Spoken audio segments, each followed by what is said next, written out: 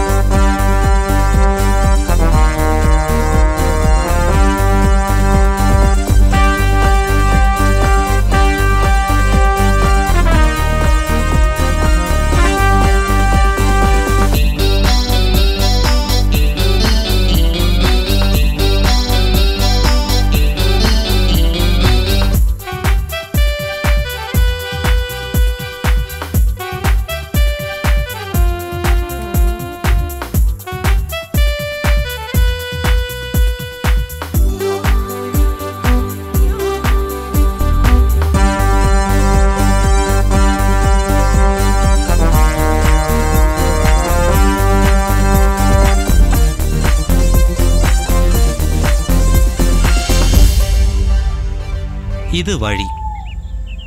കല്ലും മുള്ളും നിറഞ്ഞ കാട്ടുവഴി. കഷ്ടപ്പാടും ദുരിതങ്ങളും നിറഞ്ഞ ജീവിതം പോലെ. കാട്ടുചോലകളും പച്ചപ്പും മരങ്ങളും ഉള്ള പ്രകൃതിയുടെ മാറിൽ മനുഷ്യൻ തീർത്ത നാട്ടുവഴി. ജീവിക്കാൻ നിലനിൽക്കാൻ അതാവാം.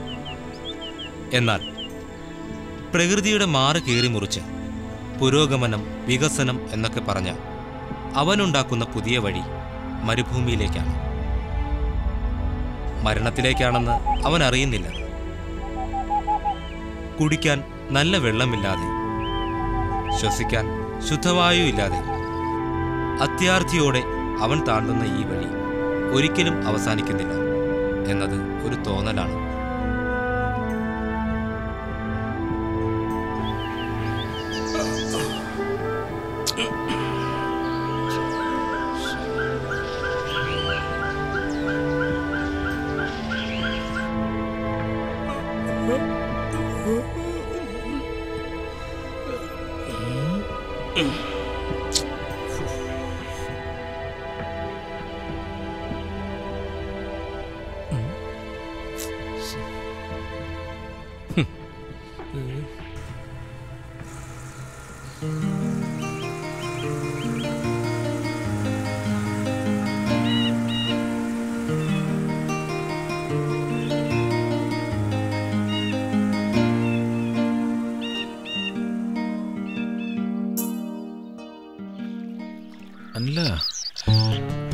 നമ്മുടെ സിനിമയുടെ സബ് ടെക്സ്റ്റ് പിടികിട്ടിട്ടുണ്ടാവും ഓ പിന്നെ.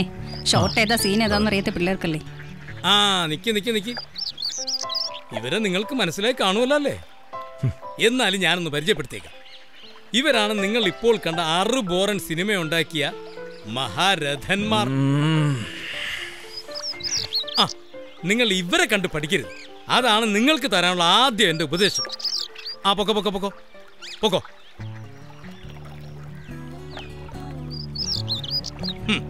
ജൂനിയേഴ്സിന് മുമ്പിൽ വെച്ച് അധികം പറയണ്ടെന്ന് വെച്ചാൽ ഞാൻ ഇവിടം കൊണ്ട് നിർത്തിയത്. സിനിമ എന്നൊക്കെ പറഞ്ഞുകൊണ്ട് നീയൊക്കെ എന്നതാടാ ഉണ്ടാക്കി വെച്ചിരിക്കുന്നത്? എന്റെ പ്രിയപ്പെട്ട കുട്ടികളെ ഇതിലും നല്ലത് ഒരു കത്തി എടുത്ത് എന്നെ അങ്ങ് കുത്തി കൊല്ലുവാർന്നു. അല്ലെങ്കിൽ ഇതാണ്ട് ആ കെട്ടത്തിന് മുകളിൽ അങ്ങ് തള്ളി താഴെ ഇട്ടാലും മതിയായിരുന്നു സമ്മതിക്കണം. സിനിമ ഉണ്ടാക്കി വെച്ചിരിക്കുന്നു. ഒരു ഉത്തമ സൃഷ്ടി കണ്ടാൽ മനസ്സിലാകാത്ത കലാബോധമില്ലാത്ത പ്രൊപ്പറേറ്ററെ ഇങ്ങനെ ഒരു സ്ഥാപനം നടത്തുന്നതിനേക്കാൾ നല്ലത് തനിക്കൊരു തയ്യക്കട നടത്തുകയായിരുന്നു. കലയും കലയും. മണ്ണാണോ പിണ്ണാക്കാണോ എന്നറിയാത്ത നിങ്ങളാണ് ഈ സ്ഥാപനം നടത്തുന്നതെന്ന് അറിഞ്ഞിരുന്നെങ്കിൽ ഞാൻ വരില്ലായിരുന്നു. പിന്നെ ഞങ്ങളുടെ പ്രിയങ്കരനായ ജി കെ സാറിനെ ഓർത്ത് ഇപ്പം ഞാനൊന്നും പറയുന്നില്ല. എന്നിട്ട് അവനവിടെ? G K? ഗംഗാധരൻ കാസർകോട്. നിങ്ങളുടെ ഈ സിനിമ ഒരാവർത്തി കൂടി കാണാനുള്ള ശേഷിയില്ലാത്തതുകൊണ്ട് എവിടെയും പോയി ഒളിച്ചിരിക്കാന്നോ അതോ നിങ്ങളെ ഒരു കൊല്ലം പഠിപ്പിച്ച ക്ഷീണം കൊണ്ട് എവിടെയെങ്കിലും മാറിക്കിടന്ന് ഉറങ്ങുവാന്നോ ഒരു സ്ഥലകാല ബോധമില്ലാത്ത ഇവനെ പിടിച്ച് പ്രിൻസിപ്പളാക്കിയാണ് ഞാൻ ചെയ്ത കുഴപ്പം. ലോനപ്പൻ സാറേ ജി കെ സാറിനെ പറ്റി ഇനി ഒരു അക്ഷരം മിണ്ടിപ്പോയാൽ തന്നെ ഞങ്ങൾ തല്ലിക്കൊല്ലും. ലോക സിനിമ എന്താണെന്നും ഇന്ത്യൻ സിനിമ മലയാള സിനിമ എന്നിവയെല്ലാം കുറിച്ച് ഞങ്ങളെ പഠിപ്പിച്ച ജി കെ സാറിനെ പറ്റി കാ മാ എന്നൊരക്ഷരം മിണ്ടിപ്പോരും. ഓ ആ. നിങ്ങളായി നിങ്ങളുടെ പാടായി. ഏതായാലും ഇവിടുത്തെ കോഴ്സ് കഴിഞ്ഞല്ലോ. ഇനിയെങ്കിലും ഇവിടെ നിന്ന് ഇറങ്ങി തന്നു അങ്ങനെ പോകാൻ പറ്റില്ല. പിന്നെ? പുതിയ ബാച്ചിലെ പുതിയ കുട്ടികളുമായിട്ട് അനുഭവ സമ്പത്തുകളുണ്ടല്ലോ ഈ ഇൻസ്റ്റിറ്റ്യൂഷന്റെ അത് പങ്കുവച്ചതിന് ശേഷമേ പോകാവുന്ന ജി കെ സാറ് പ്രത്യേകം പറഞ്ഞിട്ടുണ്ട് അല്ലേ? എന്റെ കർത്താവ് എന്തോ? ഈ ജി കെയിൽ നിന്നും എന്നെയും എന്റെ പുതിയ കുട്ടികളെയും കാത്തുകൊള്ളണമേ. ആമേ നന്നായി. നന്നായി മക്കളെ. നന്നായി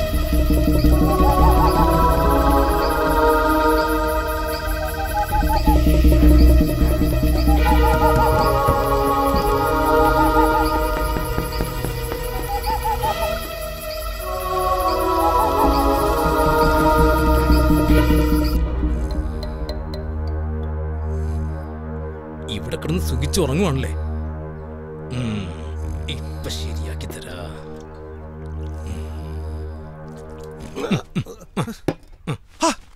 താനെന്ത് പണിയോട് കാണിച്ചേ? ഞാൻ മനോഹരമായ ഷോട്ട് എടുത്തോണ്ടിരിക്കായിരുന്നു. അപ്പോഴാ തന്റെ ഒരു ദേ, എന്നെ കൊണ്ടൊന്ന് പറയിപ്പിക്കല്ലോ കേട്ടോ? എടോ ജി കെ തനിക്കോ സിനിമ എന്തെന്ന് അറിയത്തില്ല പഠിപ്പിച്ച് പഠിപ്പിച്ച് ആ പിള്ളേരെ താനൊരു വഴിക്കാക്കി. എന്നിട്ടും ഷോട്ടുകൾ സ്വപ്നം കണ്ടങ്ങനെ കിടക്കുകയാണ്. സമ്മതിക്കണം. ഒരു പ്രൊപ്പറേറ്ററായ താനെന്നൊക്കെ പറയും. തന്റെ മനസ്സിൽ സിനിമയില്ല സിനിമ സ്വപ്നങ്ങളുമില്ല. എങ്ങനെയെങ്കിലും ഇൻസ്റ്റിറ്റ്യൂട്ട് നടത്തി കുറെ കുട്ടികളെ പറ്റിച്ച് കുറച്ച് കാശുണ്ടാക്കണം എന്നുള്ള ഒരു ഒറ്റ വിചാരമേ എനിക്കുള്ളൂ പക്ഷേ ഞാൻ അങ്ങനെയല്ല ഞാനൊരു കലാകാരനാണ് എനിക്ക് എന്റെതായ സിനിമാ സ്വപ്നങ്ങളുണ്ട്. അത് പൂർത്തിയാകുന്നതുവരെ ഞാൻ സ്വപ്നങ്ങൾ കണ്ടുകൊണ്ടേയിരിക്കും. ഓ പതിനാറാമത്തെ വയസ്സിൽ സിനിമയിൽ നായകനാൻ വേണ്ടി മദിരാശിലേക്ക് വണ്ടി കയറി എന്നുണ്ടല്ലോ? താൻ സിനിമ പഠിപ്പിക്കണ്ട. ഇരുപതാമത്തെ വയസ്സിൽ എം ബി ബി എസിന് അഡ്മിഷൻ വന്ന കാർഡ് വീട്ടുകാരറിയാതെ കീറിക്കളഞ്ഞ് പൂനെക്ക് വണ്ടി കയറി സിനിമ പഠിച്ചിറങ്ങിയ എന്നെ താൻ സിനിമ പഠിപ്പിക്കാൻ എന്നിട്ട് പഠിപ്പിക്കാൻ വേണ്ടി ഇങ്ങോട്ടല്ല വന്നത് പിന്നെ പഠിപ്പിക്കാൻ താൻ എന്നെ എന്തിനാ വിളിച്ചത് തനിക്ക് എന്നെ? വേണ്ടെന്ന് പറയാനില്ല താൻ. പഠിപ്പിക്കാൻ ഇവിടെ വന്നത്? പിന്നെ പിന്നെ താണ്ടെ ചൂടാവരുത് ഡിയർ ജൂനിയർ സ്റ്റുഡൻസ് നിങ്ങളിങ്ങനെ വിളിച്ചു വരുത്തിയിരിക്കുന്നത്? റാഗിങ്ങിനാണെന്നായിരിക്കും നിങ്ങൾ വിചാരിച്ചിരിക്കുന്നത്. എന്നാൽ അങ്ങനെയല്ല. വളരെ വിശദമായിട്ടുള്ള ചില പരിചയപ്പെടലുകൾ. പിന്നെ നിങ്ങളുടെ എയിമിനെ കുറിച്ചുള്ള ഡിസ്കഷനുകൾ നിങ്ങളെ നാളത്തെ സിനിമാക്കാരാക്കുന്നതിനുള്ള ഫസ്റ്റ് സ്റ്റെപ്പാണ് ഈ ഡിസ്കഷൻ എല്ലാം കഴിഞ്ഞ് പോകുന്നതിന് മുമ്പ് ഞങ്ങൾക്ക് നിങ്ങളുടെ വക ഒരു ഒരു ട്രീറ്റ് അത്രേ ഉള്ളൂ. ഇനി ഓരോരുത്തരും നിങ്ങളുടെ പേരും ബാക്ക്ഗ്രൗണ്ടും വിവരിക്കും. എന്റെ പേര് ഫാത്തിമ എന്നാണെന്ന് എല്ലാവർക്കും അറിയാമെന്ന് ഞാൻ കരുതുന്നു. പിന്നെ എന്റെ അച്ഛന്റെ പേര്? അതിന്റെ അമ്മയ്ക്ക് അറിയാമെന്ന് ഞങ്ങളും കരുതുന്നു. ഇതാ കഴുതേ സീനിയർ ആണെന്നൊന്നും ഞാൻ കരുതൂല. എന്റെ കയ്യിൽ നിന്നൊന്നും കിട്ടിയാലേ നീ പിന്നെ വീട് കാണൂല പറഞ്ഞേക്കാം. വേണ്ട വേണ്ട വേണ്ട വേണ്ട. സമാധാനപരമായ പരിചയപ്പെടും അതാണ് നമ്മൾ ഉദ്ദേശിക്കുന്നത് ഓക്കെ ജൂനിയറിന്റെ അടി മേടിച്ച് മോനം കെടുത്താതടാ. ആ അങ്ങനെ പറഞ്ഞോട്. നെക്സ്റ്റ് പ്ലേസ് ഞാൻ ജീവൻ. നിൽക്കാൻ ശേഷിയില്ലാത്ത നിന്റെ പേര് ജീവൻ എന്നാണോടാ നിനക്ക് തന്റെ തലയൊന്നുമില്ലടാ. അയ്യേ ഞാൻ ചേട്ടനെ പോലെ ഒന്നുമല്ല എനിക്ക് വീട്ടിലെല്ലാരും ഉള്ളതാ ഓക്കെ നെക്സ്റ്റ് നെക്സ്റ്റ് നെക്സ്റ്റ് ഞാൻ ചൂളമണി. എന്ത് മണി? ചെങ്കച്ചൂള മണിയുണ്ടായി. വേറെന്തെങ്കിലും അറിയണം? അയ്യോ ഒന്നും അറിയണ്ട മോനെ. ഒരു ചാനൽ റിയാലിറ്റി ഷോയിൽ അഭിനയിക്കാൻ പോയിട്ടുണ്ട്. അതിനെ തുടർന്ന് ചെങ്കച്ചൂളയിലുള്ള ഒരു പിരിവെടുത്ത് അഭിനയം പഠിക്കാൻ വിട്ടതാണ്. ഇനി സൂപ്പർ സ്റ്റാർ ആയിട്ടേ ചൂളയിലോട്ട് കയറാൻ പറ്റുള്ളൂ. ഞാൻ ബെഞ്ചമിൻ. എനിക്കൊരു ക്യാമറാമാൻ ആവാനാണ് ആഗ്രഹം. എന്റെ അച്ഛൻ പത്രത്തിലൊരു സ്റ്റിൽ ഫോട്ടോഗ്രാഫർ ആയിരുന്നു. ഈ കാണാൻ പാടില്ലാത്ത എന്തുണ്ടെങ്കിലും അത് കാണുമെന്ന് ഞങ്ങൾ കുടുംബക്കാരുടെ ജന്മസിദ്ധമായ കഴിവാണ്. ഈ കഴിവ് വെച്ച് തൃശ്ശൂരിലെ മദ്യമാഫിയുടെ ചില ചെയ്തികൾ കണ്ടുപിടിച്ചു. എന്നിട്ട് അതിന്റെ ഒരു ഫോട്ടോ എടുത്ത് പ്രസിദ്ധീകരിച്ച മൂലേ എന്റെ അച്ഛൻ ചുമരിലെ മാല ഇട്ടിരിപ്പായി ഒരു സിനിമയ്ക്ക് പ്രധാനമായും വേണ്ടത് നല്ല തിരക്കഥയാണെന്നാണ് എന്റെ ശക്തമായ അഭിപ്രായം. മിക്ക സിനിമകളുടെയും പരാജയ കാരണം നല്ല തിരക്കഥയില്ലായ്മയാണ്. ഇത് അജയൻ. ഞാൻ Kamal Shah. I believe that the cinema is art of director എന്റെ നാട്ടിലെ പല ചോരത്തിളപ്പുള്ള സംഭവങ്ങൾ ലോകത്തിന് മുന്നിൽ കാണിച്ചു കൊടുക്കുവാൻ സിനിമാ സംവിധായകന്റെ കുപ്പായത്തിന് കഴിയും എന്ന് ഞാൻ ആത്മാർത്ഥമായി വിചാരിക്കുന്നു. ഞാൻ മായാവതി. കണക്ക് മാഷിന്റെ കണക്കൂട്ടുകളിൽ തെറ്റിച്ച മലപ്പുറംകാരി. ഭയങ്കര ക്രേസാ. വീട്ടുകാർക്ക് സിനിമ എന്ന് പറയുമ്പോ ഭയങ്കര പേടിയാണ് എനിക്ക് ഇഷ്ടമുള്ള വിഷയം ഞാൻ ദാ ഞാൻ പറഞ്ഞത് കാര്യമാണ് അവർക്ക് ഇതൊന്നും എവിടെ മോനെ നീ മുമ്പ് പഠിച്ചേ?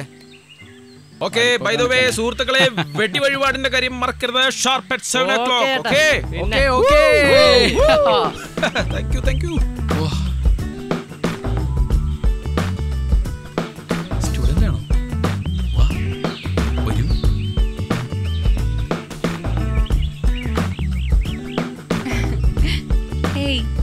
Hi, hi. Hello. Sit. Hey, hi Hi hello. Sit. Sit down. I'm Neelima. I'm a North Indian Malayali. So सब कुछ ट्राई किया किसी में इंटरेस्ट नहीं था सो സിനിമ തന്നെ പഠിക്കാമെന്ന് വെച്ചു വളരെ നല്ലത് തന്നെ മോളെ മോക്ക് ഇവിടെ തന്നെ സിനിമ പഠിക്കാൻ പറ്റിയല്ലോ വലിയ ഭാഗ്യം തന്നെ ഇനി പരിചയപ്പെടാൻ ആരെങ്കിലും ബാക്കിയുണ്ടോ ഒരാളൂടെ ഉണ്ട് ഞാൻ ഇന്ദിര എടുത്തോളിയോ എത്ര പീസുകളാളിയാ ഈ കൊല്ലത്തെ ബാച്ച് പഠിച്ചാൽ മതിയായിരുന്നു വാവിട്ട വാക്കും കൈവിട്ട പഠന കോഴ്സും ഒരിക്കലും തിരിച്ചെടുക്കാൻ പറ്റില്ല ഡിയർ ജൂനിയർ ബോയ്സ് ഈ സുന്ദരിമാരോടൊപ്പം കോഴ്സ് ചെയ്യുവാൻ സാധിച്ച നിങ്ങൾ ഭാഗ്യവന്മാരാണെന്ന് പറഞ്ഞുകൊണ്ട് ഈ പരിചയപ്പെടൽ ഞാനിവിടെ അവസാനിപ്പിക്കാൻ ആഗ്രഹിക്കുകയാണ്. Thank you thank you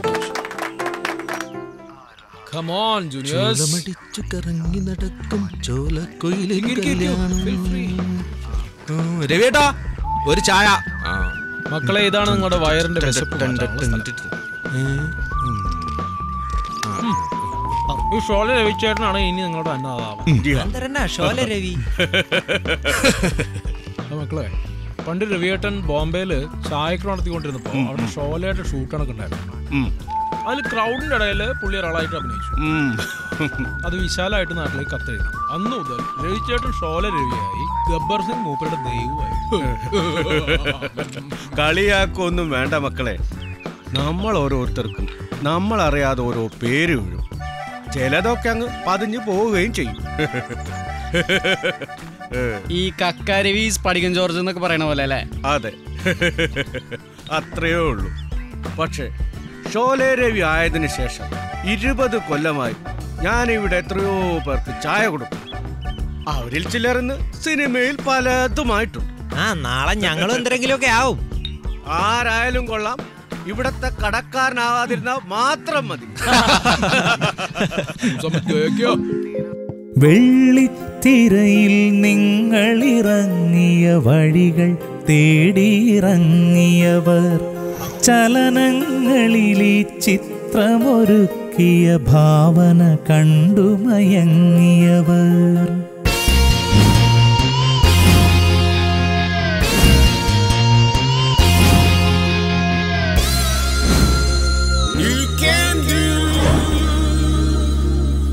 Can do.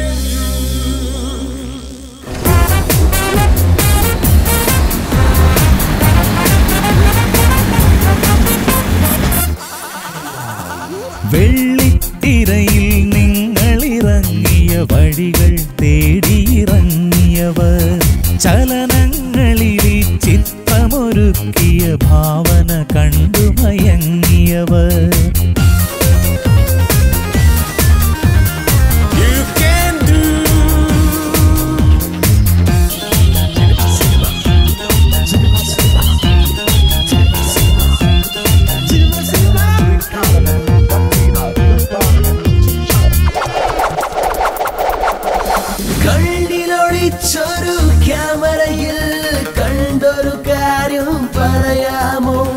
sob meu carro.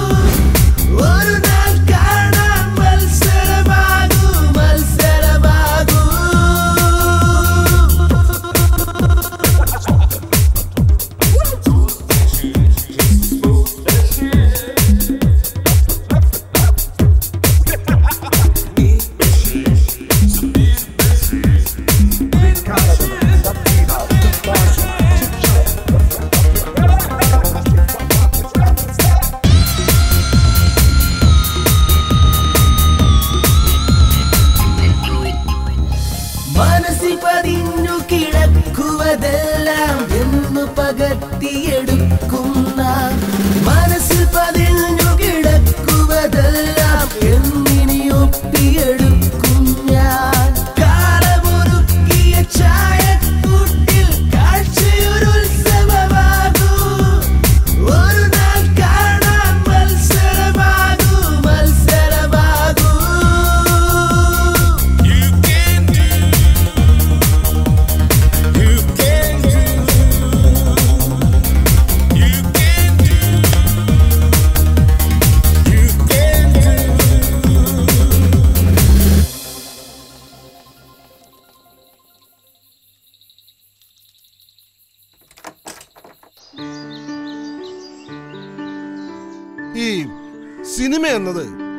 കാഴ്ചയുടെ കലയാണ്. അല്ലാതെ പറച്ചിലിന്റെ അല്ല.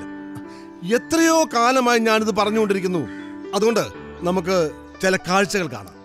നിങ്ങൾ ഇരിക്കുന്ന സ്ഥലത്ത് നിന്ന് പുറത്തേക്ക് നോക്കൂ. എന്ത് കാണുന്നു?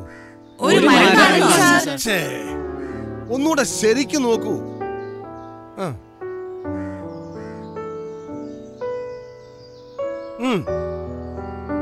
എന്ത് കാണുന്നു? ആ അതാണ് വ്യത്യാസം. നിങ്ങൾ ഇപ്പൊ കാണുന്നത് ഒരു സാധാരണക്കാരന്റെ കണ്ണുകൊണ്ട്. എന്നാൽ നിങ്ങൾ ആ മരത്തിലേക്ക് ശരിക്കൊന്ന് നോക്കുക. അതിന്റെ വേരുകൾ തായ്തടി ചില്ലകൾ പച്ചയും പഴുത്തതുമായ ഇലകൾ മരത്തിലെ പൂക്കൾ മരത്തിനെ ചുറ്റി നിൽക്കുന്ന ആ കാട്ടുവള്ളി അതിലിരിക്കുന്ന കിളികൾ ചെതൽ ആ തൊലിയുടെ ടെക്സ്ചർ അങ്ങനെ പലതും പല പലതൊന്നും കാണാൻ പറ്റും.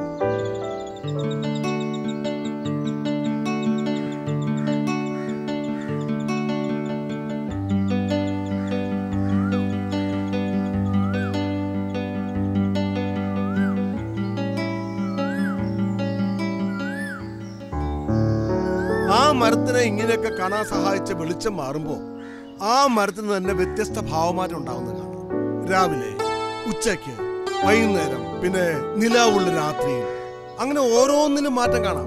അത് മാത്രമല്ല ആ മരത്തിൽ നോക്കുന്ന ആളിന്റെ മാനസിക ഭാവവും ആ മരത്തിൽ പ്രതിഫലിക്കും. മനസ്സിലായില്ല സാറേ. മനസ്സിലാക്കി തരാടാ ചൂളെ ആ, ഇപ്പൊ തന്റെ കഥാപാത്രം ഒരു കള്ളനാണെങ്കിൽ പോലീസ് പിന്തുടർന്നു വരുമ്പോൾ തന്നെ അവരിൽ നിന്നും മറിഞ്ഞിരിക്കാൻ സഹായിക്കുന്നു ആ മരം.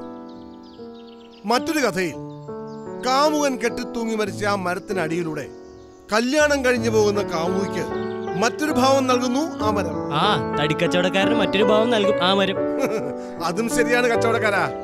ഇനി പടയെടുത്ത് പൊളിഞ്ഞൊരു പ്രൊഡ്യൂസർക്ക് മറ്റൊരു ദൃശ്യാനുഭവം നൽകും ആ മരം. ഏ? ശരിക്കും ഞാൻ കോമഡി ഒന്നും പറഞ്ഞില്ലല്ലോ. റിയാലിറ്റി ആ ഇന്നത്തെ മതി. സാർ. എന്താടാ? അങ്ങനെ ഈ മരം കല്ല് മനസ്സ് നദികൾ പൂക്കൾ പക്ഷികൾ ഇവയൊക്കെ മനസ്സിലാക്കണമെങ്കിൽ ഒരുപാട് കാലം പിടിക്കും. അല്ലേ ജി കെ സാർ പിന്നെ താനെന്ത് കരുതി? പപ്പടം ചുട്ടെടുക്കുന്ന പോലെ ഇതൊക്കെ എളുപ്പ പണിയാണെന്നോ?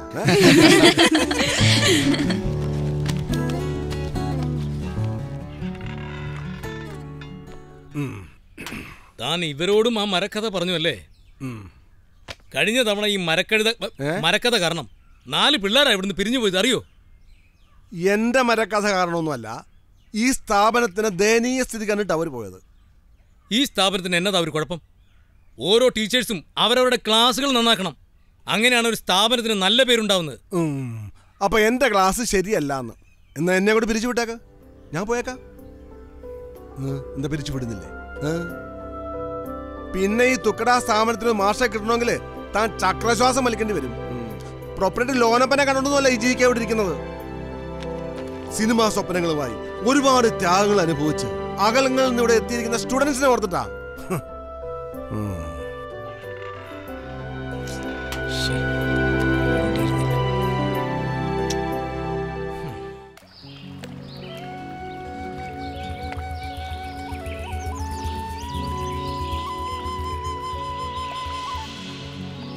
ബെഞ്ചമിന്റെ കയ്യിൽ ക്യാമറ കിട്ടിയാ പിന്നെ നമുക്കൊന്നും ചെയ്യാൻ കഴിയില്ല.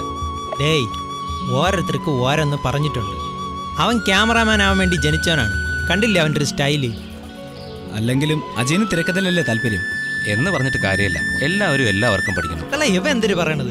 എനിക്ക് നടനായ അതുകൊണ്ട് ഞാൻ വേറെ ഒന്നും പഠിക്കാൻ താല്പര്യപ്പെടും. അത് ശരി. നീ മറ്റൊന്നും പഠിച്ചിട്ട് കാര്യമില്ല എന്റെ ചൂട്. കറക്റ്റ് ഡേ ഡേയ് എന്തരാലോചിച്ച് കൂട്ടണത്? അവൻ ഷോട്ട് പ്ലാൻ ചെയ്യുന്നതാ. ഒരുപാട് പ്ലാൻ ചെയ്യല്ലേടേ. അവസാനം പൊളിഞ്ഞ് പാളീസാവും. അവനൊന്ന് വെറുതെ വിട്ടേക്കണം. ഡാ ഡാ ഡാ ഡാ ഈ ഷോട്ട് നോക്കി എങ്ങനെയുണ്ട്? ഇങ്ങോട്ട് വാടാ. നോക്ക്. ഈ ഷോട്ടിന് നല്ല ഡെപ്ത് ഫീൽ ചെയ്യണില്ലേ ഇതൊക്കെ എന്തോന്ന് ഷോട്ട് ഒരു ജിമ്മി ഉണ്ടായിരുന്നെങ്കിൽ യാത് ജിമ്മി. നിനക്ക് നമ്മളൊന്നും പോരെ? എടാ ജിമ്മി ജിബ്ബ ഞാൻ ഉദ്ദേശിച്ചത്. എന്റെ ഷോട്ടുകളെല്ലാം വളരെ മൂവ്മെന്റ് ഷോട്ടുകൾ എന്നെ പോലെ തന്നെ യെസ് ഓരോരുത്തരുടെ ക്യാരക്ടർ അവരുടെ വർക്കിലും കാണും. അതിൽ സംശയമൊന്നും വേണ്ട. ഓരോന്ന് ചെയ്യണാകുമ്പോൾ ഓരോരുത്തന്മാരെ സ്വഭാവം മനസ്സിലാവും. അതൊക്കെ നമ്മളെ രേനി എണ്ണായി ഫൈറ്റ് സീൻ മുമ്പ് രണ്ട് ഡയലോഗ് കാച്ചു. അപ്പൊ തന്നെ അറിയാം മറ്റോന്റെ കാര്യം കട്ട പോകാം.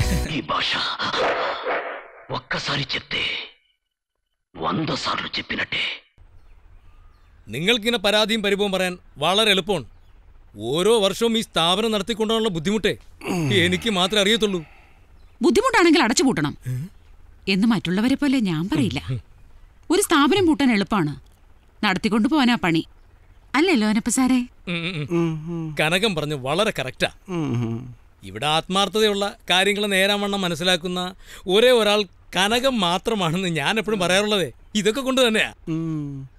അതിന്റെ രഹസ്യം ഇവിടെ എല്ലാവർക്കും അറിയാവുന്നതാണ്. എന്നാ? എന്നാ പറഞ്ഞേ? എന്നാ? നിങ്ങൾ പൂട്ടുവോ നടത്തുവോ എന്താന്ന് വെച്ചാ ചെയ്തു?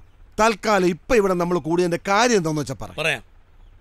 ഈ വർഷത്തെ ഗസ്റ്റ് ലെക്ചേഴ്സിന്റെ പ്രോഗ്രാം ഷെഡ്യൂൾ ചെയ്യാൻ വേണ്ടി നമ്മളിവിടെ കൂടിയിരിക്കുന്നു.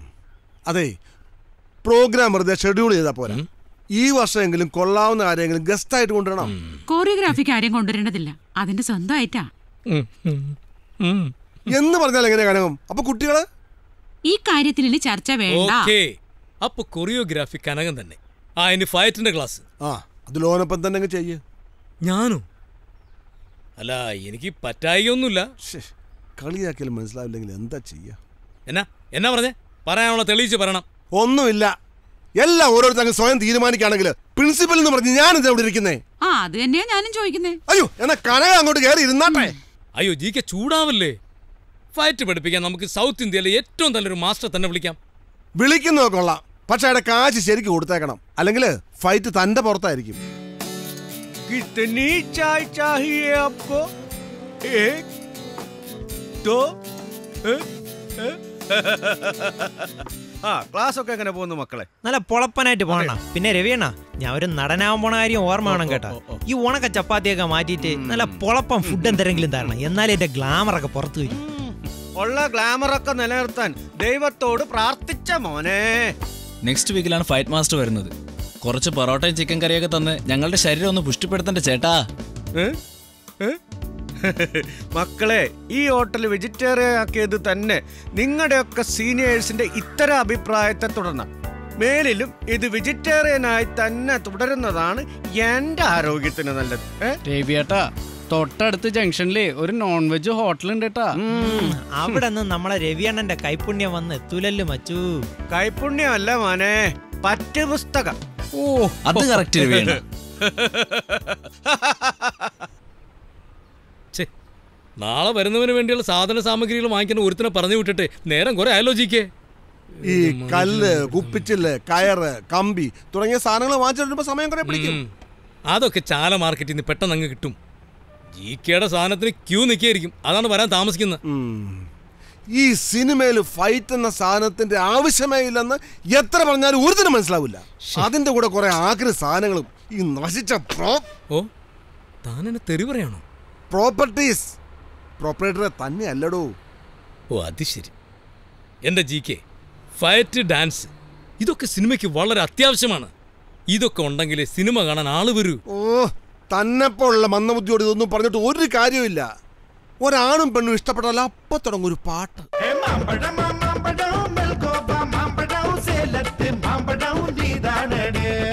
നായകനെ ഇൻട്രൊഡ്യൂസ് ചെയ്യുമ്പോൾ ഹീറോയിസം കാണിക്കാൻ വേണ്ടിയിട്ടൊരു ഫൈറ്റ്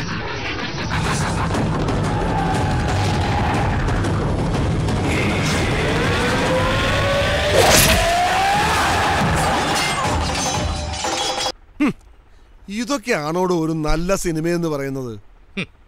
ജിക്ക് ഒരു കാര്യം ജി താൻ എന്നെങ്കിലും ഒരു സിനിമ പിടിക്കുമ്പോൾ ഇതൊന്നും ഇല്ലാത്തൊരു സിനിമ പിടിക്കുക തൽക്കാലം പിള്ളേർക്ക് ഞാനിതൊക്കെ പഠിപ്പിച്ചു കൊടുക്കേണ്ടത് വളരെ അത്യാവശ്യമാണ്. അല്ലെങ്കിൽ അവരുടെ ഫയറ്റ് എന്റെ മുതുകത്തായിരിക്കും. മനസ്സിലായില്ലേ? ആ. എന്നാ ബാലേട്ട താമസിച്ചേ? ആയത് ഒരു വ്യക്തി ലോകത്തുള്ള സകല പ്രോപ്പും വേണം കോപ്പും വേണം മനുഷ്യന് തിന്നാനും കുടിക്കാനുള്ള അതും വേണം. നമ്മുടെ സ്റ്റുഡൻസിന് വേണ്ടിയല്ലേ ബാലേട്ട? എടോ സിനിമയിൽ പ്രോപ്പർട്ടി എന്ന് പറഞ്ഞാൽ എല്ലാം ഡമ്മി വെച്ചാ ചെയ്യാ. അല്ലാതെ ഒറിജിനൽ അല്ല.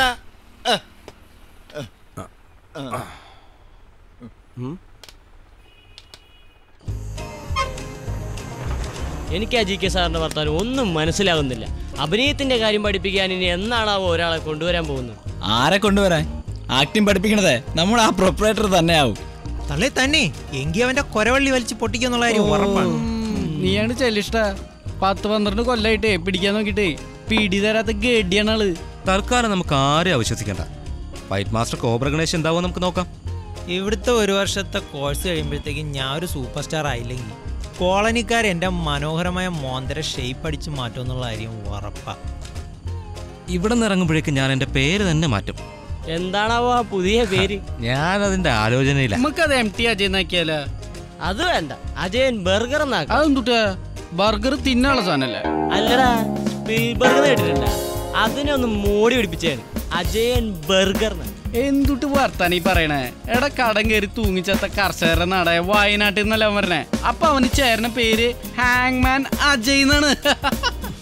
നിർത്തടാ. എല്ലാവരും വെറുതെ ഒരുമാതിരി തൂങ്ങിച്ചാത്തവന്റെ മറ്റടുത്തേക്ക് തൂങ്ങരുത്. അതെടാ കടം കയറി തൂങ്ങിച്ചത്ത കർഷകന്റെ മോനാ ഞാൻ. അതിന് പിന്നിലെ കണക്കും കുടിരതകളും എനിക്ക് ലോകത്തോട് വിളിച്ചു പറയണം. അതിനാണ് ഞാൻ ഈ മീഡിയ തിരഞ്ഞെടുത്തത്.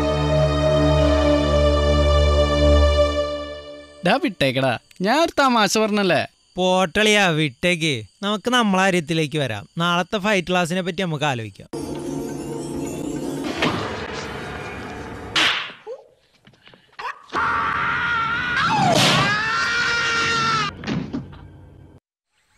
ആ കണ്ടില്ലേ?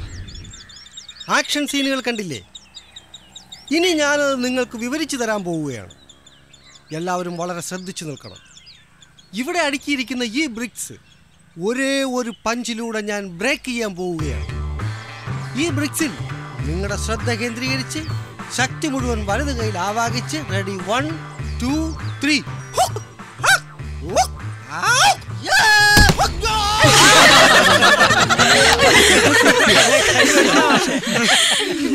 concentration മാറിയതാ ബാലേട്ടാ എന്ത് പണിയാ നിങ്ങൾ ഈ കാണിച്ചത്? ആരാ ഈ ഒറിജിനൽ കട്ട ഇവിടെ കൊണ്ടുവന്ന് അടുക്കി വെച്ചത്? പത്ത് മുപ്പത് കൊല്ലം സിനിമയിൽ പ്രവർത്തിച്ച നിങ്ങൾക്കറിയില്ലേ? സിനിമ എന്നത് ചീറ്റിങ്ങിന്റെ കലയാണെന്ന്? ഡമ്മി കൊണ്ടുവരൂ. ആ, ആ. അയ്യോ എന്റെ സാറേ വലതും പറ്റിയോ? കൈ ഒടിഞ്ഞു. വാ, വാ, വാ. ദേ, ഈ പിള്ളേര് പഠിച്ച പണിയാ. ഡമ്മി. വീണ്ടും ശ്രദ്ധിക്കൂ. വൺ മോർ ഇത് കൊള്ളാം മാഷേ. നല്ല പുല്ല്. ബ്രൂസ് ലിയാസാൻ ഇതുപോലെ. കംപ്ലീറ്റ് ഡമ്മിയാ.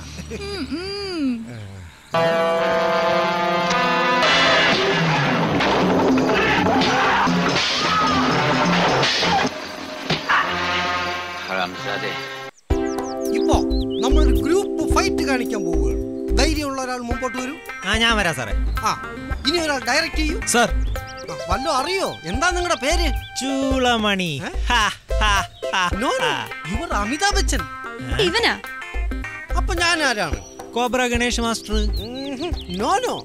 നിങ്ങൾ അമിതാഭ് ബച്ചൻ ആവുമ്പോൾ ഞാൻ അമരീഷ് പുരി. ആട്ടെ അമിതാഭ് ബച്ചൻ റെഡിയാണോ വാ റെഡിയാണ് സാർ പന്നാ പിടിച്ചോ. താൻ എന്തുവാടാ ഈ കാണിച്ചത്? സോറി സാറേ. വെച്ച രണ്ടെണ്ണപ്പല്ലോ അവൻ അടിച്ചളക്കി. സാറല്ലേ സാറേ പഞ്ച് ഞാൻ പറഞ്ഞത്. ആ, മക്കളെ ഇതാണ് സിനിമയും ജീവിതവും തമ്മിലുള്ള വ്യത്യാസം. സിനിമയിൽ ഒരാളെ ഇടിക്കുമ്പോൾ അയാളുടെ മുഖത്തിന്റെ അഞ്ച് സെന്റിമീറ്റർ വ്യത്യാസത്തിൽ വന്ന് നിൽക്കണം. ദേ ഇതുപോലെ. ഉം, മനസ്സിലായോ? കണ്ടാ? കഷ്ടം തന്നെടാ. അയ്യോ. കിട്ടിയത് കിട്ടി. പോട്ട്.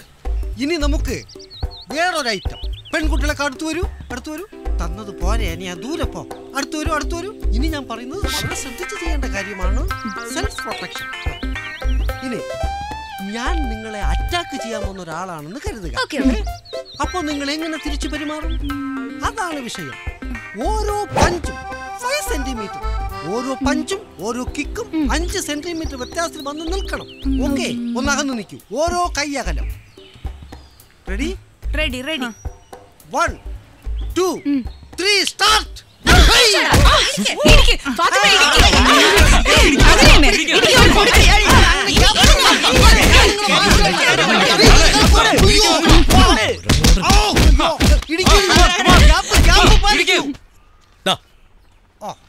നാലായിരം രൂപയുണ്ട്. ഫോർ തൗസൻഡ് നാലായിരം നാലഞ്ച് ദിവസം എണ്ണ പാർട്ടി കിടക്കാനുള്ള അത്ര ഇടി ഞാൻ കൊണ്ട്. ഒരു പതിനായിരം രൂപ കിട്ടാതെ ഞാനിവിടെ അതെ ഒരു ദിവസം ഒരു ഗസ്റ്റ് ലെക്ചർക്ക് ആയിരം രൂപ വെച്ച് കൂട്ടിയാൽ തന്നെ നാലായിരം രൂപയല്ലേ വരത്തുള്ളൂ? ഇത് വെറുതെ വായിട്ടലയ്ക്കുന്ന പണിയല്ല എന്ന് സാർ കണ്ടതല്ലേ അത് ഞാൻ കണ്ടു. പതിനായിരം രൂപയല്ലേ ഞാൻ ചോദിച്ചുള്ളൂ. അടുത്ത ആഴ്ച ഇവർക്ക് ഷൂട്ടിംഗ് പ്രാക്ടീസ് ഉണ്ട്. അതായത് വെടിവെപ്പ് പരിശീലനം. തന്നെ ഡമ്മിയാക്കി നിർത്തി. അവർ വെടിവെച്ച് പരിശീലനം നടത്തും. അതിനു കൂടി നിന്ന് വരുവാണെങ്കിലേ ഒരു പതിനായിരം രൂപ കൂടി തന്നേക്കാം. ആ എന്നാ? അയ്യോ വേണ്ടേ. ഇപ്പൊ കിട്ടിയതൊക്കെ തന്നെ ധാരാളമാ ഡമ്മിയായിട്ട് താൻ തന്നെ നിന്നോ.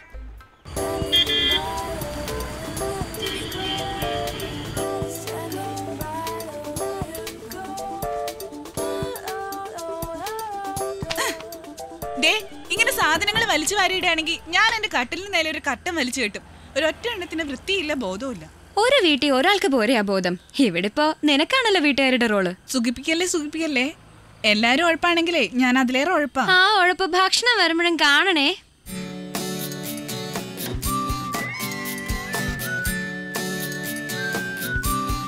Hi hi good night good night ഹും, കൂടെ ഒരു സെക്യൂരിറ്റി കൂടെ ഉണ്ടല്ലോ.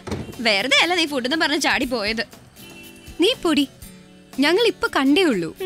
നടക്കട്ടെ നടക്കട്ടെ. ഹായ് ഭക്ഷണം വന്നോ? എന്താ ഇൻട്രസ്റ്റ് കുളി കഴിഞ്ഞാൽ ഉടനെ എനിക്ക് ഭക്ഷണം കഴിക്കണം. ചെറുപ്പം തൊട്ടേ ഉമ്മ ശീലിപ്പിച്ചതാണേ. എന്നാ നിന്റെ ഡാഡിയോട് വാങ്ങിത്തരാൻ പറ. ഇവിടെ നീ അല്ലടാ എന്റെ ഡാഡി.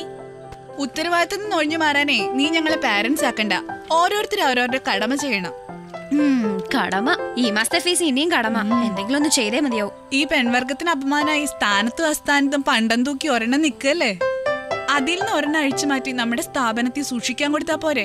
നിനക്ക് മാത്രല്ല നമുക്ക് എല്ലാവർക്കും ഫീസ് അടയ്ക്കാൻ കാശാവൂ. അയ്യടാ ഇതിലൊന്ന് പോയാലേ എന്റെ സൗന്ദര്യത്തിന്റെ മാറ്റം അറിയും. എന്നാ നീ ട്വന്റി ഫോർ ക്യാരറ്റ് ആയിരുന്നോ? ഞാൻ ഫുഡ് കഴിക്കാൻ പോവാ. അയ്യോ.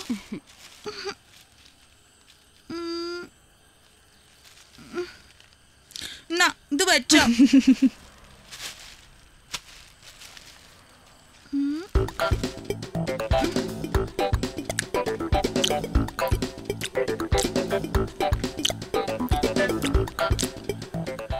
തിത്തൈതാഹ തിത്തൈതാഹ തത്തൈതാഹ തിത്തൈതാഹ തിത്തൈതാഹ തത്തൈതാഹ തിത്തൈതാഹ തത്തൈതാഹ തിത്തൈതാഹ തത് ബെഞ്ചമിൻ നീലിമ നിങ്ങൾ എവിടെയാണ് നോയിക്കൊണ്ടിരിക്കുന്നേ?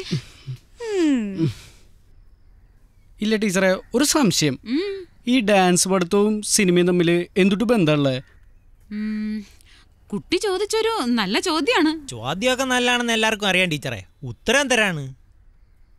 അതായത് എല്ലാത്തിനും ഒരു താളം ഉണ്ടാകുന്ന നല്ലതാണ്. ആ ജീവിതത്തിനൊരു താളം. നമ്മൾ ചെയ്യുന്ന പ്രവൃത്തിക്ക് ഒരു താളം. എന്തിന്? ശ്വാസോച്ഛ്വാസത്തിന് പോലും താളം താളമില്ലേ? ഭാവിയിൽ നിങ്ങളൊക്കെ വലിയ സിനിമാക്കാരാവുമ്പോ എന്താണ് ഞാൻ ഇപ്പൊ പറയുന്ന താളമെന്ന് അപ്പൊ നിങ്ങൾക്ക് മനസ്സിലാവും. സംഗതി മൊത്തം അവതാളത്തിലാവുന്ന ലക്ഷണാ. ശരിയാ. ആ ഇനി എല്ലാരും മ്യൂസിക് വെച്ച് പ്രാക്ടീസ് ചെയ്തോളൂ. നിങ്ങൾ കിടന്ന് തിന്നോ ഞാൻ പോവാട്ടാ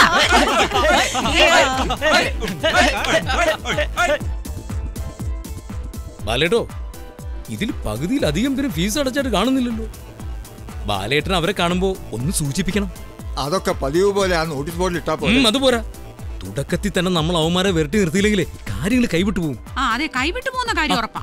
എന്തു പറ്റി കനകം? എന്റെ ലോനപ്പ സാറേ സാധാരണ ഒരു ബാച്ചിൽ ഒന്നോ രണ്ടോ തലതിരിച്ച പിള്ളേരെ ഉണ്ടാവാറുള്ളൂ. അതെ. ഈ ബാച്ചിൽ മൊത്തം പ്രശ്നക്കാരാ. ആണും പെണ്ണും ഒക്കെ കണക്കാ.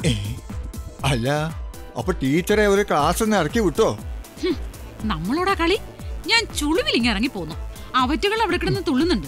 കേട്ടില്ലേ?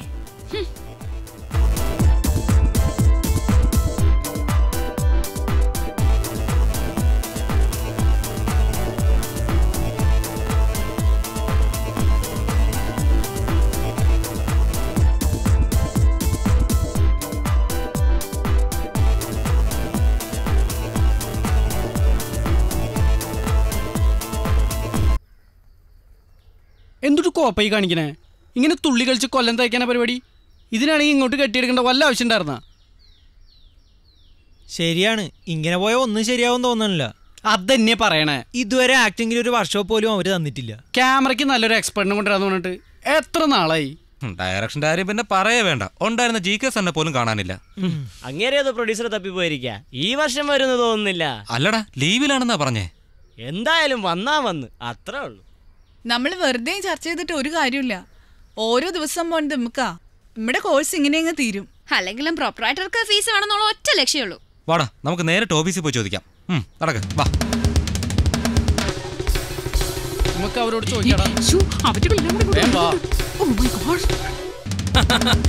വരണം വരണം. ഞാൻ നിങ്ങളെ കാത്തിരിക്കുന്നു ഞങ്ങളും ചിലത് പറയാൻ കാത്തിരിക്കുകയായിരുന്നു.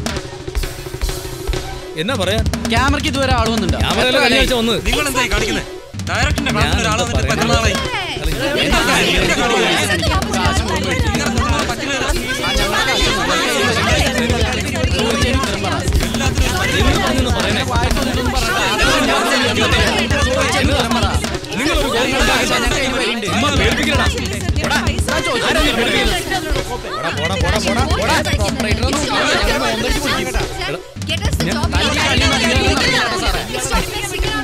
ഞങ്ങൾ കണ്ടോളാം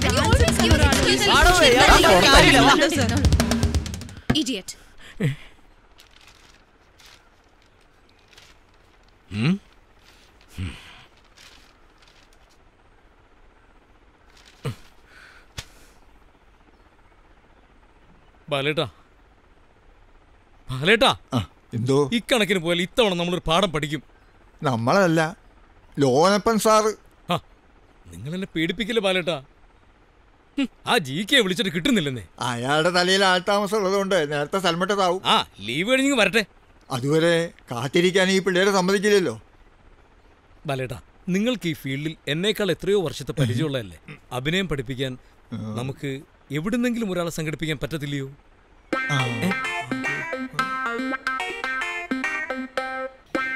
ഐ ആം സേതുപതി.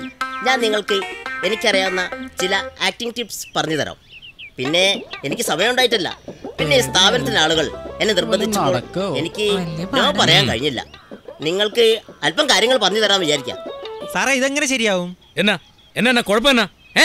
ഇങ്ങനെ താഴോട്ട് നോക്കിയിരുന്ന നമ്മളെ കഴുത്തിന് പണിയാവൂലേ? നോ പ്രോബ്ലം ശരി. എവിടുന്ന് കിട്ടുന്ന ഇങ്ങനത്തെ ഓരോ സാധനങ്ങൾ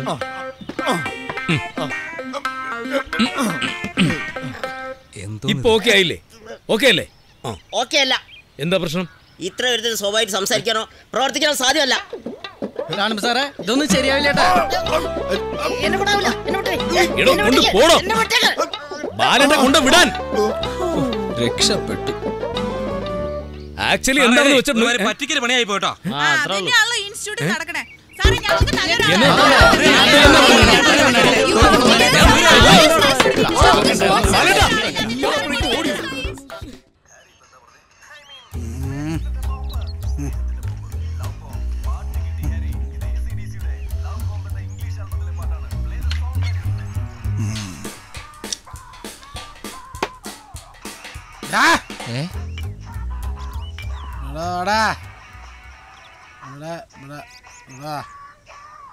ഏ?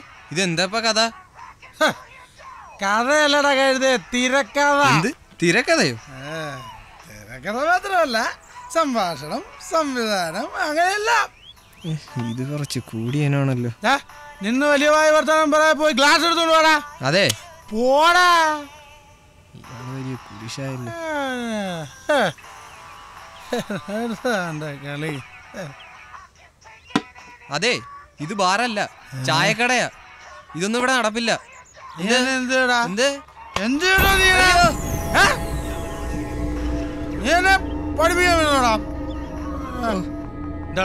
അയാൾ. അയാൾ വെറുതെ പ്രശ്നം ഉണ്ടാക്കാൻ വന്നയ്യ അങ്ങനെ ഒരാൾ? ആരാ? ആരാ ഇവിടെ പ്രശ്നം ഉണ്ടാക്കുന്നത്? ആരെ? ആരെയോ പ്രകാശൻ? ഞാൻ എവിടെയായിരുന്നുടാ ഇതുവരെ? കുറെ കാലായാലോ തന്നെ കണ്ടിട്ട്. ഓ എന്താ ഒരു കോലം? എല്ലാ ചോദ്യങ്ങളും കൂടി ഇങ്ങനെ ഒരുമിച്ച് ചോദിക്കല്ലേ വേണ്ട നിങ്ങൾക്ക് ഇതുവരെ ബുദ്ധി കഴിഞ്ഞിട്ടില്ല ഓ നീ നന്നായി തെളിഞ്ഞിട്ടുണ്ടല്ലോ. അത്. അതിരിക്കട്ടെ നിന്റെ കാര്യങ്ങൾ എന്തൊക്കെയാ? അത് പറ എന്തു പറയാ? ഈ ഇന്ത്യ മഹാരാജ് മുഴുവൻ കറങ്ങാന്ന് കഴിഞ്ഞു. എന്നിട്ട് നടന്നോ? ചുമ്മാ. വീട്ടു ഒരു വിത്തൗട്ട് ചായ. ഒരു വിത്തൗട്ട് ചായ. അല്ല ആരിത് പ്രൊപ്പറേറ്റർ സാറോ? ഇത് ആര് എപ്പ എത്തി? ഞാനെത്തിട്ട് കുറെ കാലായി എങ്ങനെയുണ്ട് പുതിയ പിള്ളേരൊക്കെ? ഓ എന്നാ പറയാനാ? ഒക്കെ പിഴകളാ. നിങ്ങളെ ബാച്ചിലുള്ള പോലെ ഒരുത്തനും ഈ ബാച്ചിലില്ല തലയ്ക്കകത്ത് ആൾ താമസം ഇല്ലാത്തവന്മാർ അധികവും അതുകൊണ്ട് സാർ ഇപ്പൊ കഞ്ഞി കുടിച്ച് കഴിയുന്നല്ലേ? പ്രകാശ ഞാൻ തനിക്ക് ഒരാഴ്ചത്തേക്ക് ഒരു പണി തരട്ടെ. എന്തിനൊരാഴ്ച? ആജീവനൊന്നും ഛെ, പണിയിട്ടിരിക്കല്ലേ തമാശകളാ തനിക്ക് അത്യാവശ്യം കുറച്ച് കാശ് തടയും. കാശിന്റെ കാര്യമൊക്കെ സാറ് കാര്യം പറ. നമ്മുടെ പുതിയ കുട്ടികൾക്ക് ആക്ടിങ്ങിന്റെ ടിപ്സ് താൻ പറഞ്ഞു കൊടുക്കണം. ആ. ആക്ടിങ്ങിന്റെ ടിപ്സ്. കൊള്ളാം സാറേ. ജീവിതകാലം മുഴുവൻ അഭിനയിച്ചുകൊണ്ടിരിക്കുന്ന സാറുള്ളപ്പോ നമ്മുടെയൊക്കെ എന്ത് ടിപ്സ്? പ്രകാശ് അതിന് അവർക്ക് നിന്നെ പോലെ വിവരമില്ലല്ലോ. എന്റെ നീഴൽ കണ്ട അവന്മാർക്ക് കലിപ്പ. അത് കൊള്ളാം. അപ്പൊ പുതിയ പിള്ളേർക്ക് വിവരമുണ്ട്.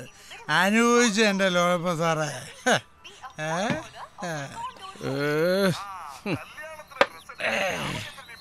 ടിപ്സ്. രവിയേട്ടാ നല്ല ബുദ്ധിയുള്ള ആളാ. പറഞ്ഞിട്ട് എന്താ എന്തോന്ന് ബുദ്ധി? വാകേക്ക് കൊള്ളാത്ത ബുദ്ധി ഉണ്ടാട്ടെ എന്നാ കാര്യം? കോഴ്സ് പാസ്സായിട്ട് കൊല്ലം അഞ്ചാറായി. ഇപ്പോഴും താരാപേര നടക്കാണ്. ഞാനിപ്പോ ആക്ടിംഗ് ടിപ്സിന് ആരെ കണ്ടുപിടിക്കും? ഞാൻ മതിയോ? ഞാൻ പോട്ടെ. പിന്നെ വരാം.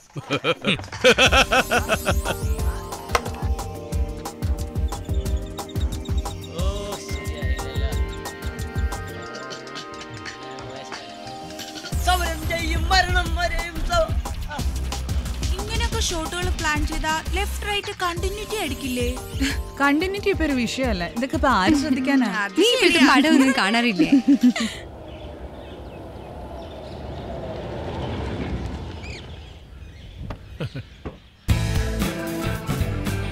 ജൂനിയേഴ്സിനെ ഒരു ഞെട്ടലാവൂലേ? ഓ പിന്നെ? ആ ചിക്സ് ഉണ്ടോടാ ഏയ്.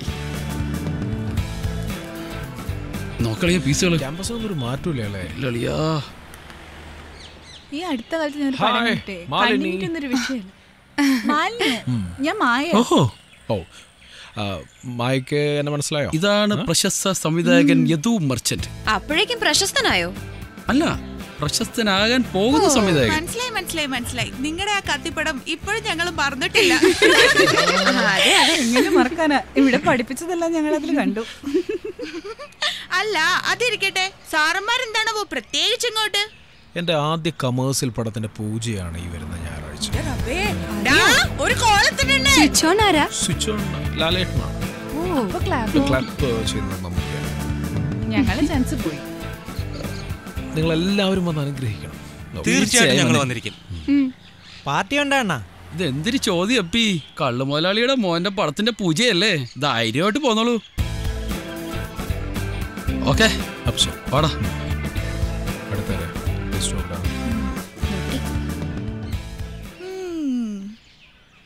അവനൊക്കെ ഇൻസ്റ്റിറ്റ്യൂട്ടിൽ നിന്ന് ഇറങ്ങിയതേ ഉള്ളൂ അപ്പോഴേക്കും പടമായി അവനൊക്കെ ക്യാഷുള്ള ടീമല്ലേ ക്യാഷ് ഉണ്ടോ? ബാക്കിയെല്ലാം താനെ വന്നോളൂ. പക്ഷേ നല്ലൊരു പടം ചെയ്യാൻ കാശ് മാത്രം പോരാ.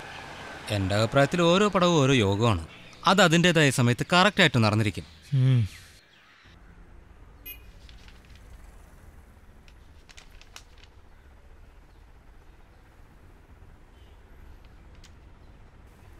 നീലിമേ ഇതൊന്നും നോക്കിയേ. എന്റെ അടുത്ത് വാ. ദാ. ഇതേ പഴയൊരു സിനിമയിലെ പ്രണയരംഗാണ് എന്തു ഭംഗിയല്ലേ. നോക്കിക്കേ. ചില പഴയ പ്രണയ സങ്കല്പങ്ങൾ. ലവ് ഇസ് ലൈക്ക് ദാറ്റ് എവിടെയായാലും എപ്പോഴായാലും.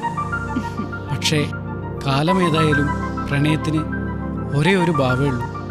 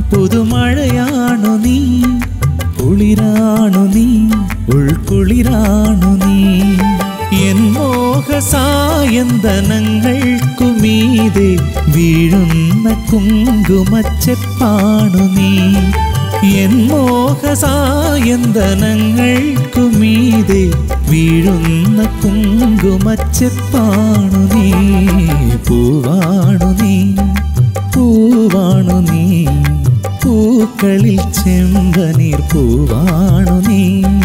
പുഴയാണു നീ പുഴയാണു നീ. പുഴകളിൽ പുളകി തന്നിലയാണു നീ. പൂവാണു നീ പൂവാണു നീ. പൂക്കളിൽ ചെമ്പനീർ പൂവാണു നീ. പ്രണയം എപ്പോഴും മധുരതരം തന്നെയാണല്ലേ കുട്ടികളെ? നിങ്ങൾ കരുതിയിട്ടുണ്ടാവും ഞാൻ വെറുതെ ലീവ് എടുത്ത് ഇങ്ങനെ ചുറ്റി നടക്കായിരിക്കുന്നു അല്ലേ? ഇവിടുത്തെ സ്റ്റുഡൻസിനെ പറ്റി ഉത്തരവാദിത്വമുള്ള ചിന്തയുള്ള ഒരേ ഒരു അധ്യാപകൻ ഞാൻ മാത്രമാണ്. കാര്യമായ ക്ലാസ്സുകളോ നല്ല ലെക്ചർമാരോ ഇല്ലാതെ വെറുതെ ഫീസും വാങ്ങി ഇൻസ്റ്റിറ്റ്യൂട്ട് നടത്തിക്കൊണ്ട് പോകാനേ പ്രൊപ്പറേറ്റർ കുളിപ്പൊന്നും ഉണ്ടാവില്ല. എന്നാൽ ഞാൻ അങ്ങനെയല്ല. സിനിമ പഠിക്കാനായി ഇവിടെ എത്തുന്ന കുട്ടികളോടുള്ള കടമയെപ്പറ്റി എനിക്ക് നല്ല ബോധ്യമുണ്ട്. അതുകൊണ്ട് അവർക്കായൊരു നല്ല ലെക്ചറിനെ കൊണ്ടുവരാനാണ് ഞാൻ പോയത്. വളരെ നിർബന്ധിച്ചിട്ടാണ് കുട്ടികൾക്കായി ശങ്കർജിയോട് വരാമെന്ന് സമ്മതിച്ചത്.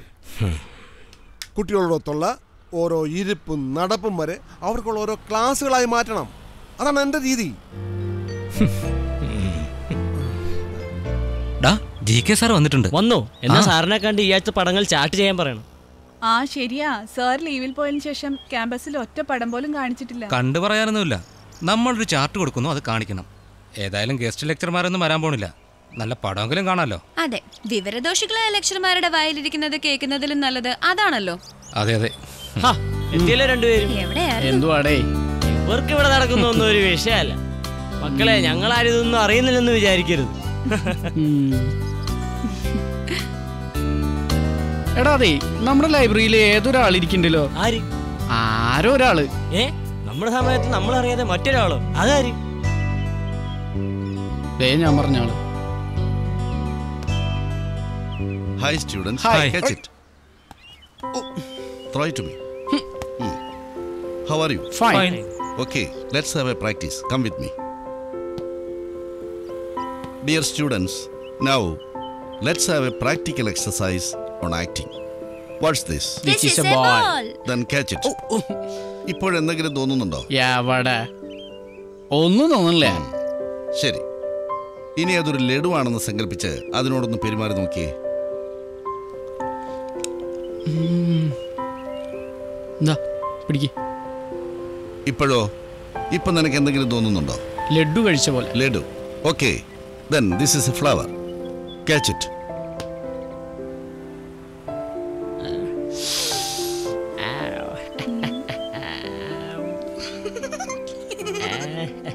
ഇനി അതൊരു ഐസ്ക്രീം ആണെന്ന് കരുതി പെരുമാറും. ഗ്രനേഡ് ഇപ്പോൾ നിങ്ങൾ പ്രാക്ടീസ് ചെയ്തതാണ് ആക്ടിംഗ് ഒരു സാധനത്തെ മറ്റൊന്നായി സങ്കല്പിച്ച് അതിനോട് പെരുമാറുന്ന രീതിയിൽ പെരുമാറുക എന്നുള്ളതാണ് ഇതുകൊണ്ട് ഉദ്ദേശിക്കുന്നത്. കാര്യം നമ്മൾ മറ്റുള്ളവരെ വിശ്വസിപ്പിക്കുകയാണ്. Okay now we will take another exercise okay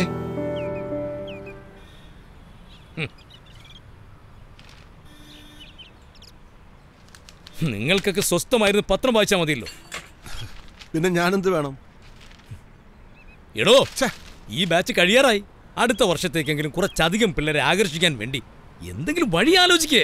അതിപ്പോ ലോനപ്പാ താൻ പത്രത്തിൽ ഒരു പരസ്യം കൊടുക്കുക ഞാൻ എന്നാ പരസ്യം കൊടുക്കാനാ? ഇവിടെ പഠിച്ചിറങ്ങുന്നവർക്കെല്ലാം ഏതെങ്കിലും ചാനലിൽ ജോലി തരപ്പെടുത്തി കൊടുക്കാവുന്ന എന്നിട്ട് വേണം അവന്മാരെല്ലാം കൂടെ പിടിച്ച് എന്നെ അകത്താക്കാൻ വേണ്ടി. ഞാൻ എവിടുന്ന് എടുത്തു കൊടുക്കാനേ ഉമ്മാർക്കൊക്കെ ജോലി?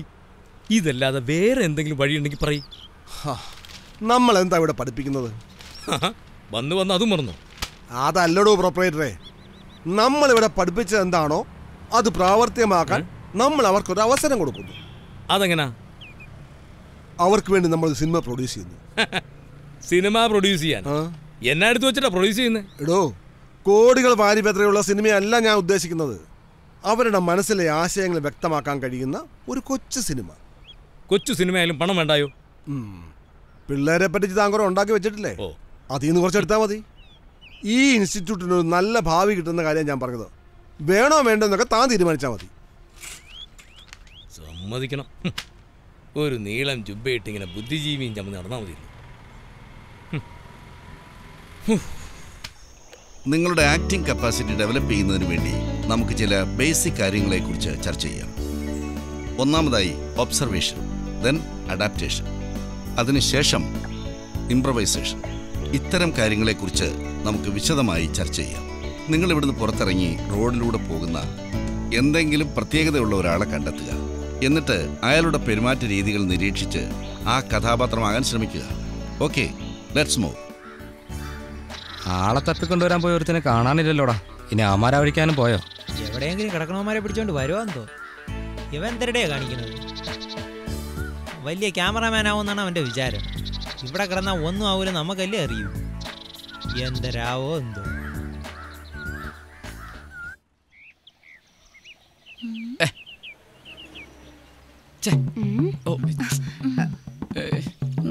ഈ ആംഗിൾ കൊള്ളാം. ഈ കോസ്റ്റ്യൂംസിന്റെ ഒരു ചേഞ്ച് ഉണ്ടായിരുന്നേ കൊള്ളായിരുന്നു കുറച്ചേരായല്ലോ. നിങ്ങൾ എന്നെ അത്ഭുത ജീവിതം നോക്കിക്കുന്നത് എന്നിട്ട് എന്തേ മനസ്സിലായോ? മനസ്സിലാക്കിക്കൊണ്ടിരിക്കുന്നു. എന്ത് മനസ്സിലാവേ ആ കൈ ഇങ്ങോട്ട് നിട്ട് ഞാൻ പറഞ്ഞുതരാ.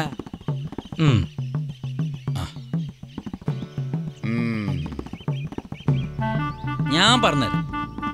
എനിക്കൊരാൾ അറിയണമെങ്കിൽ അയാളുടെ ഭാവി അറിയണമെങ്കിൽ ഈ കയ്യിലേക്കൊന്ന് നോക്കിയാ മതി. ഒരു തിരക്കഥാകൃത്താവാനാണ് മോഹം അല്ലേ? മോഹിക്കുന്നതിൽ തെറ്റില്ല. പക്ഷേ പ്രയത്നിക്കണം. പ്രയത്നിച്ചാൽ ഇവന്റെ കാര്യം നടക്കോ ജോൽസിരെ പ്രയത്നിച്ചാൽ നടക്കാത്തതായി ഒന്നുമില്ല. എന്റെ കൈയും കൂടി നോക്കി തരോ? നല്ല കൈയാണല്ലോ. അതെ അതെ. സാമ്പത്തികമൊക്കെ ഉള്ള വീട്ടിൽ നിന്നാണ് വരവ്. യാഥാസ്ഥിതിക കുടുംബം. ഇപ്പം പഠിക്കുന്നത് പ്രാവർത്തികമാക്കി എടുക്കാൻ കുറച്ച് ബുദ്ധിമുട്ടേണ്ടി വരും. സാരില്ലടി നമുക്ക് ശരിയാക്കാന്ന്. ഈ കൈ നോക്കി. വൈദ്യരെ നീ ക്യാമറ കയ്യിൽ നോക്കിയെന്ന് മെല്ലെ. ക്യാമറ.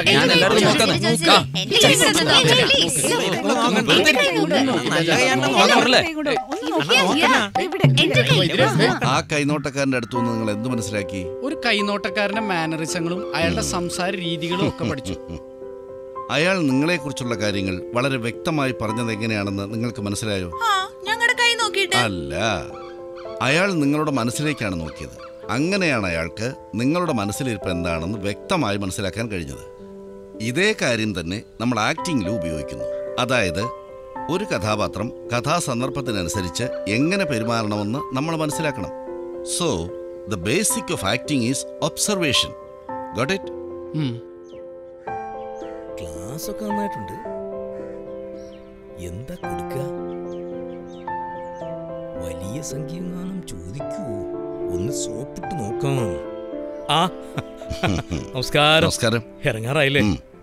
സത്യം പറഞ്ഞാലേ ക്ലാസ് ഒക്കെ അസലായിട്ടുണ്ട് സാറിനെ പോലെ ഒരാളെ ഞങ്ങളുടെ കുട്ടികൾക്ക് കിട്ടിയത് ഒരു മഹാഭാഗ്യമായിട്ടാണ് ഞാൻ കാണുന്നത്. പിന്നെ ഇൻസ്റ്റിറ്റ്യൂട്ടിന്റെ കാര്യങ്ങളൊക്കെ ശങ്കർജി സാറിന് അറിയാലോ? ഒരുവിധം അങ്ങനെ തട്ടിമുട്ടി പോകുന്നേ ഉള്ളൂ. സത്യം പറഞ്ഞാൽ നല്ലൊരു ലെക്ചറെ കൊണ്ടുവരാൻ എന്നാ ചെയ്യുമെന്ന് ആലോചിച്ച് വിഷമിച്ചിരിക്കുമ്പോഴാണ് സാറൊരു ദൈവദൂതനെ പോലെ എന്റെ മുമ്പിൽ പ്രത്യക്ഷപ്പെട്ടു. മിസ്റ്റർ ലോനപ്പൻ ഓ. അധികം പറഞ്ഞ് ബുദ്ധിമുട്ടണ്ട. എനിക്ക് തരാനുള്ള കാശിനെ കുറിച്ച് ഓർത്ത് വേവലാതിപ്പെടുകയും വേണ്ട. കയ്യിൽ കാശില്ലാഞ്ഞിട്ടല്ലല്ലോ. പക്ഷെ അതൊരു നല്ല കാര്യത്തിന് വേണ്ടി ചെലവാക്കാത്ത ആളാണ് ലോനപ്പനെന്ന് മുഖത്ത് എഴുതി വെച്ചിട്ടുണ്ട്. അങ്ങനെയൊന്നുമില്ല. കാശ് എത്ര വേണ്ടെന്ന് വെച്ചാൽ ചോദിച്ചാൽ മതി. ബുദ്ധിമുട്ടണമെന്നില്ല. ഞാനിവിടെ വന്നത് താങ്കളുടെ ഈ നക്കാപ്പിച്ച വാങ്ങാനല്ല. ഓരോ വ്യക്തിയും എനിക്ക് ഓരോ പാഠപുസ്തകമാണ്. വിലമതിക്കാനാവാത്ത പാഠപുസ്തകം. സംഗതിയെല്ലാം കൊള്ളാം. പക്ഷെ ഇതുപോലത്തെ പത്തെണ്ണത്തിന് ഒത്തു കിട്ടണം. അതൊക്കെ വെറും വ്യാമോഹമല്ലേ? ഓ ദാ വരുന്നു. ഇവിടെ നിങ്ങളുടെ കയറ്റവും ഡിയർ സ്റ്റുഡൻസ് ജനുവിൻ ഇൻസ്റ്റിറ്റ്യൂട്ടിലെ നിങ്ങളുടെ പഠനം ഏകദേശം അവസാനിക്കാറായി. ഇതുവരെ ഇവിടെ പഠിച്ച വിദ്യാർത്ഥികളിൽ ഏറ്റവും മികച്ചവരാണ് നിങ്ങളെന്ന് എനിക്ക് നിസ്സംശയം പറയാൻ കഴിയും. ഇപ്പോൾ നിങ്ങളിവിടെ വിളിച്ചു കൂട്ടിയ ഉദ്ദേശം ജി കെ സാർ നിങ്ങളോട് പറയും. കുട്ടികളെ സിനിമ എന്താണെന്ന് കുറച്ചൊക്കെ നിങ്ങൾ പഠിച്ചു കഴിഞ്ഞു. പഠിച്ച കാര്യങ്ങളും നിങ്ങളുടെ ക്രിയേറ്റിവിറ്റിയും ചേർത്തുകൊണ്ട് നല്ലൊരു സിനിമ ചെയ്യാനുള്ള ഒരു അവസരം നിങ്ങൾക്ക് വേണ്ടി ഞങ്ങൾ ഒരുക്കിയിരിക്കുകയാണ്. ഈ ജനുവിൻ ഇൻസ്റ്റിറ്റ്യൂട്ട് നിങ്ങൾക്ക് വേണ്ടി ഒരു സിനിമ പ്രൊഡ്യൂസ് ചെയ്യാൻ തീരുമാനിച്ചിരിക്കുന്നു. കലാമൂല്യമുള്ള ഒരു സിനിമയാണ് നമ്മൾ ഉദ്ദേശിക്കുന്നത്. കൃത്യമായ ഒരു ആശയം പ്രേക്ഷകരിലേക്ക് സംവേദിക്കാൻ കഴിയണം. അടുത്ത ആഴ്ച പ്ലാൻ ചെയ്യുന്നതായ ആ യാത്ര നിങ്ങളുടെ സിനിമയിലേക്കുള്ള യാത്രയാവട്ടെ.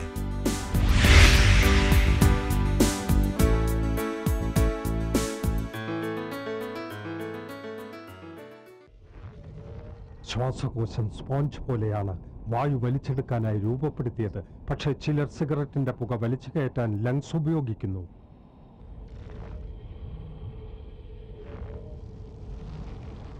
ഒരു ശരാശരി പുകവലിക്കാരന്റെ ശ്വാസകോശത്തിൽ ഓരോ വർഷവും അടിഞ്ഞുകൂടുന്ന കറ പുറത്തെടുത്താൽ അത് എത്രത്തോളമായിരിക്കും? നിങ്ങളെ രോഗിയാക്കാൻ അത് മതി. വലിയ രോഗി.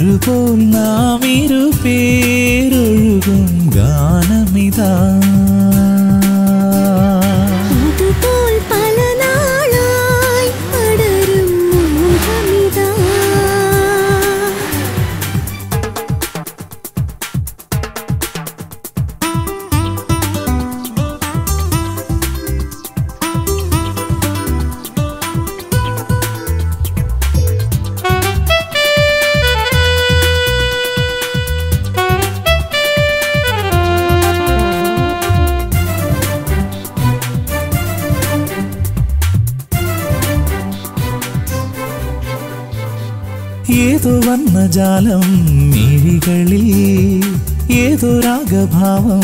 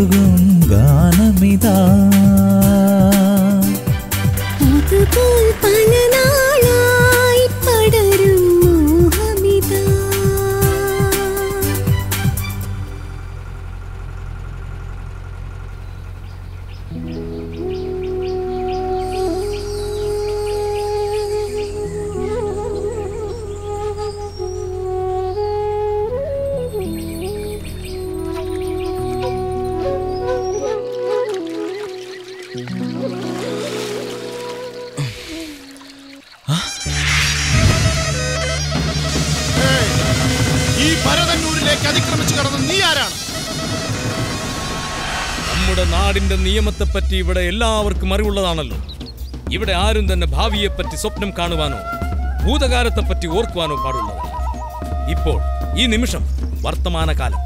വർത്തമാനകാലം മാത്രമാണ് സത്യം. ഈ നിയമം തെറ്റിക്കുന്നവർക്ക് കടുത്ത ശിക്ഷ ഉണ്ടായിരിക്കുന്നതാണ്.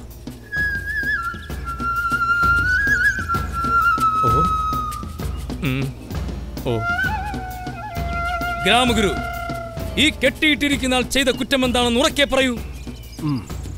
മണിയൻ എന്ന ഇവൻ ഈ ഗ്രാമത്തിന്റെ നിയമങ്ങൾ തെറ്റിച്ച് കഴിഞ്ഞ കുറെ ദിവസങ്ങളായി ആടുകളെ മേയ്ക്കുക എന്ന കർമ്മം ചെയ്യുന്നതിനിടയ്ക്ക് ആടുകളെ മേയാൻ വിട്ട ശേഷം ആ കുന്നിൻ ചെരുവിൽ നിന്ന് സ്വപ്നം കാണുകയായിരുന്നു. അതിന് സാക്ഷികളുണ്ട്. അവരെ വിസ്തരിക്കാം പ്രഭു.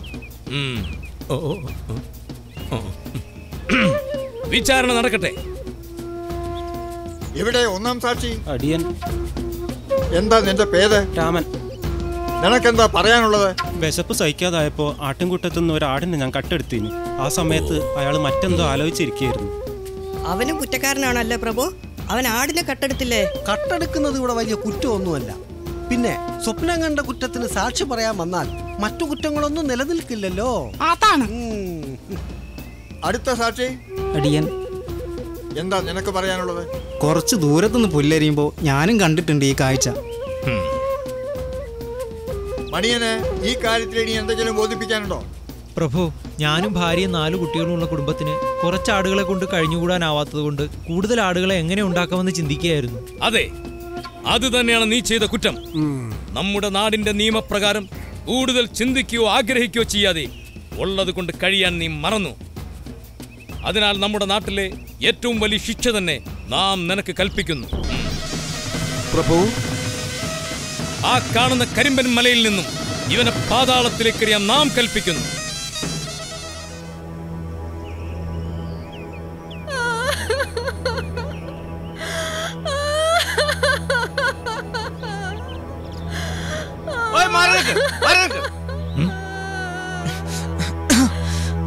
പ്രണാമം ഗ്രാമം ആരാണിവൻ അയൽ രാജ്യത്തുനിന്ന് നുഴഞ്ഞു കയറി വന്നവനാണ് പ്രഭു. എന്ത്?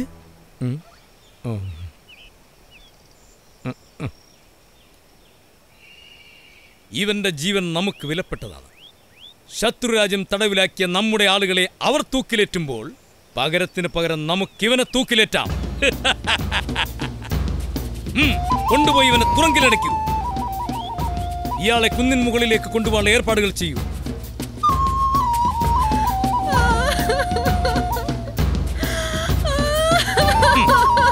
അങ്ങനെ സ്വപ്നം കാണാൻ ശ്രമിച്ച വിഡ്ഢിയായ ഒരു കുറ്റവാളിയുടെ അന്ത്യം കൂടി ഇവിടെ സംഭവിച്ചിരിക്കുന്നു.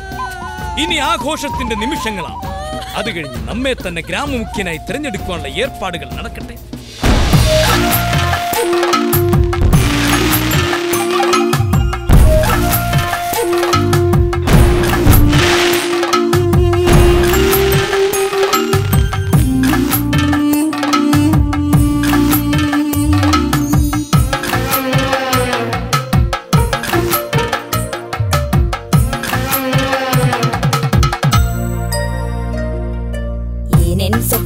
സ്വപ്നം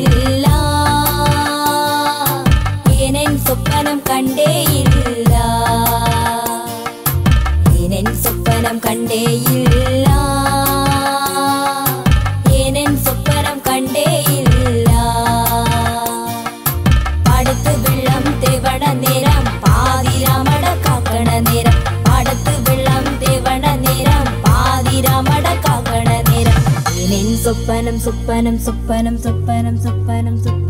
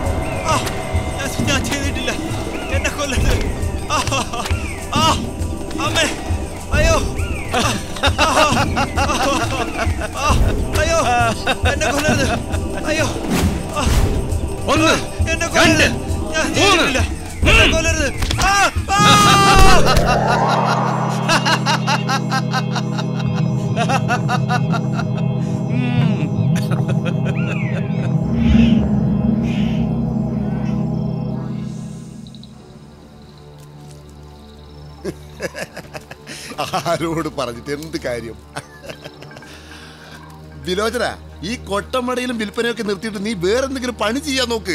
ഞാനെന്തിനു വേറെ പണിക്ക് പോകണം ഇതെനിക്ക് അറിയാവുന്ന പണിയാ. ഞാനിത് ഭംഗിയായി ചെയ്യുന്നു. വിലോചനം ഭംഗിയായിട്ട് കൊട്ടകൾ മടയും. കൊട്ടകൾ അട്ടിയട്ടിയായിട്ട് ഇവിടെ ഇങ്ങനെ നിറയും ചെയ്യും. അപ്പൊ എന്ത് ചെയ്യും? നിറയില്ലല്ലോ ആൾക്കാർ വാങ്ങിട്ട് പോവല്ലേ? വാങ്ങുന്നില്ല എന്നൊന്ന് സങ്കല്പിച്ച് നോക്ക്.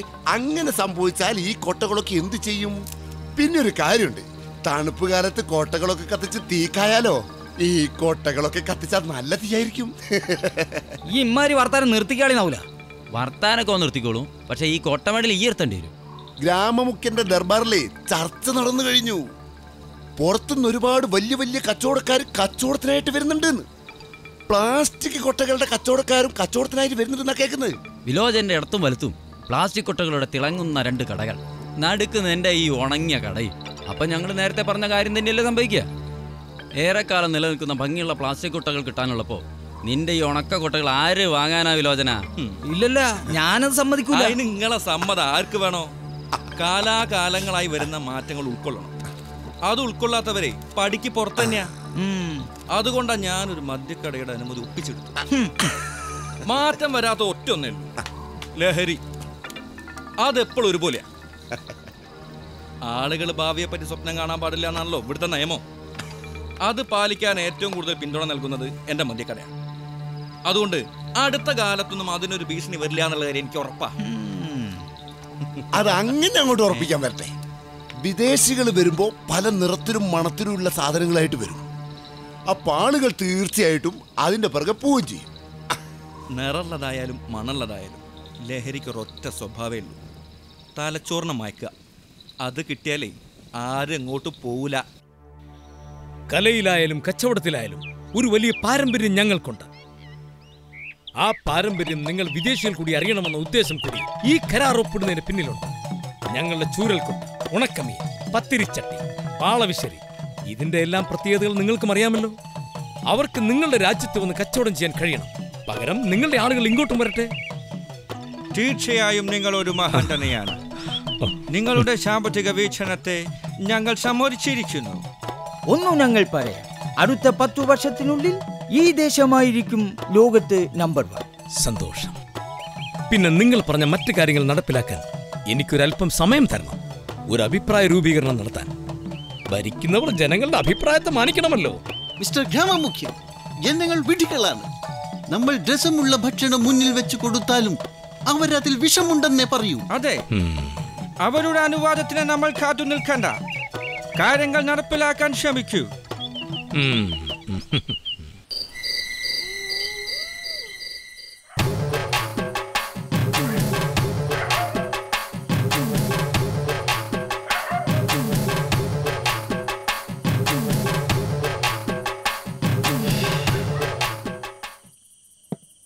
അതിഥി ദേവോ ഭവ. എന്ന് വെച്ചാൽ എന്തോ സുപ്രം ചേട്ടാ അതിപ്പോ അതിഥിയെ ദേവനായി കാണണം. കണ്ടു? നമ്മൾ ആദ്യം മുതൽ അങ്ങനെ തന്നെയാണ് കണ്ടതും. ഇവിടേക്ക് രാജ്യം വന്നു. അതിപ്പോ തങ്കപ്പനാണ് ഇവിടെ ആദ്യം വന്നത് ഷേ ഷാപ്പിലേക്ക് ആദ്യം വന്ന ആരാണെന്ന് നല്ല പൊട്ടാ ചോദിച്ചത്? ഈ ദേശത്തേക്ക് ആദ്യം വന്ന വിദേശിയാര് അത് ആര്യന്മാർ മുഗളന്മാർ പിന്നെ വെള്ളക്കാർ. എന്നിട്ട് എന്ത് സംഭവിച്ചു? ആരൊക്കെയോ എന്തൊക്കെയോ കട്ടുകൊണ്ടുപോയി എന്ന് പറഞ്ഞു കേട്ടു അത് സ്വർണവും കുരുമുളകും ഒക്കെ അല്ലേ? നമ്മുടെ തനിമ കട്ടുകൊണ്ട് പോകാൻ സാധിച്ചിട്ടില്ലല്ലോ. അതാര് വിചാരിച്ചാലും ഇല്ലാണ്ടാക്കാൻ പറ്റില്ല. പണ്ട് കച്ചവടത്തിന് വന്നവർ ഇന്ന് കള്ളത്തരവുമായി വന്നുകൊള്ളട്ടെ ഒന്നും സംഭവിക്കില്ല. കള്ളത്തരത്തിനോ? ആര്? നിന്റെ അച്ഛൻ. പ്രഹ്ലാദ വേണ്ട. സേവിച്ചെന്ന് കരുതി എന്തും പറയരുത്. സേവിച്ചവർക്ക് ഇവിടെ ഒന്നും പറയാൻ പാടില്ല. അല്ലാത്തവർക്ക് എന്തും പറയാം. ഇതെന്ത് ന്യായം? അതായിരിക്കുന്നു നിയമത്തിന്റെ കാവലാൽ ഗ്രാമമുഖ്യന്റെ പ്രധാന സഹായി സാധാരണക്കാരന്റെ പ്രതിനിധി അധകൃതൻ. പക്ഷേ അധികാരത്തിന്റെ എല്ലും കഷ്ണം കിട്ടിയ സഹജീവിയെ മറക്കുന്നവൻ രാജരത്നമ്മയുടെയും ഗ്രാമമുഖ്യന്റെയും പൃഷ്ഠത താങ്ങുന്നവൻ. ഹേ, ഥു, ഹേ. പ്രഹ്ലാദ വാ ഏ, എണീക്ക്. അല്ല, അല്ല, അല്ല. അയാളോട് കളിച്ചാലേ? കൊലമരം കൊലമരം. നടക്ക്. പ്രഹ്ലാദന് കൊലമരം. മാറണം. സകല ഭരണയന്ത്രങ്ങളും മാറണം. സകല വിഗ്രഹങ്ങളും ഉടയണം. സകല ഭരണയന്ത്രങ്ങളും മാറണം.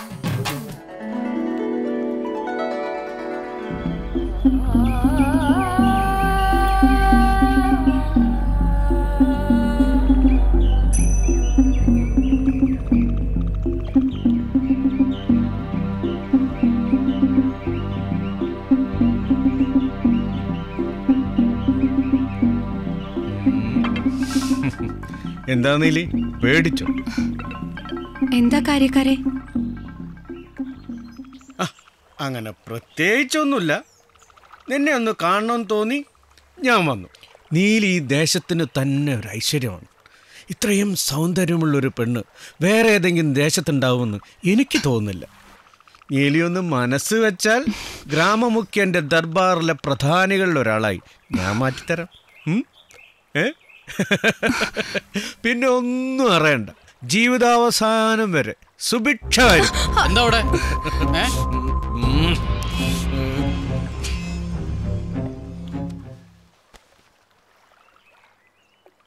നീലി പൊക്കോ?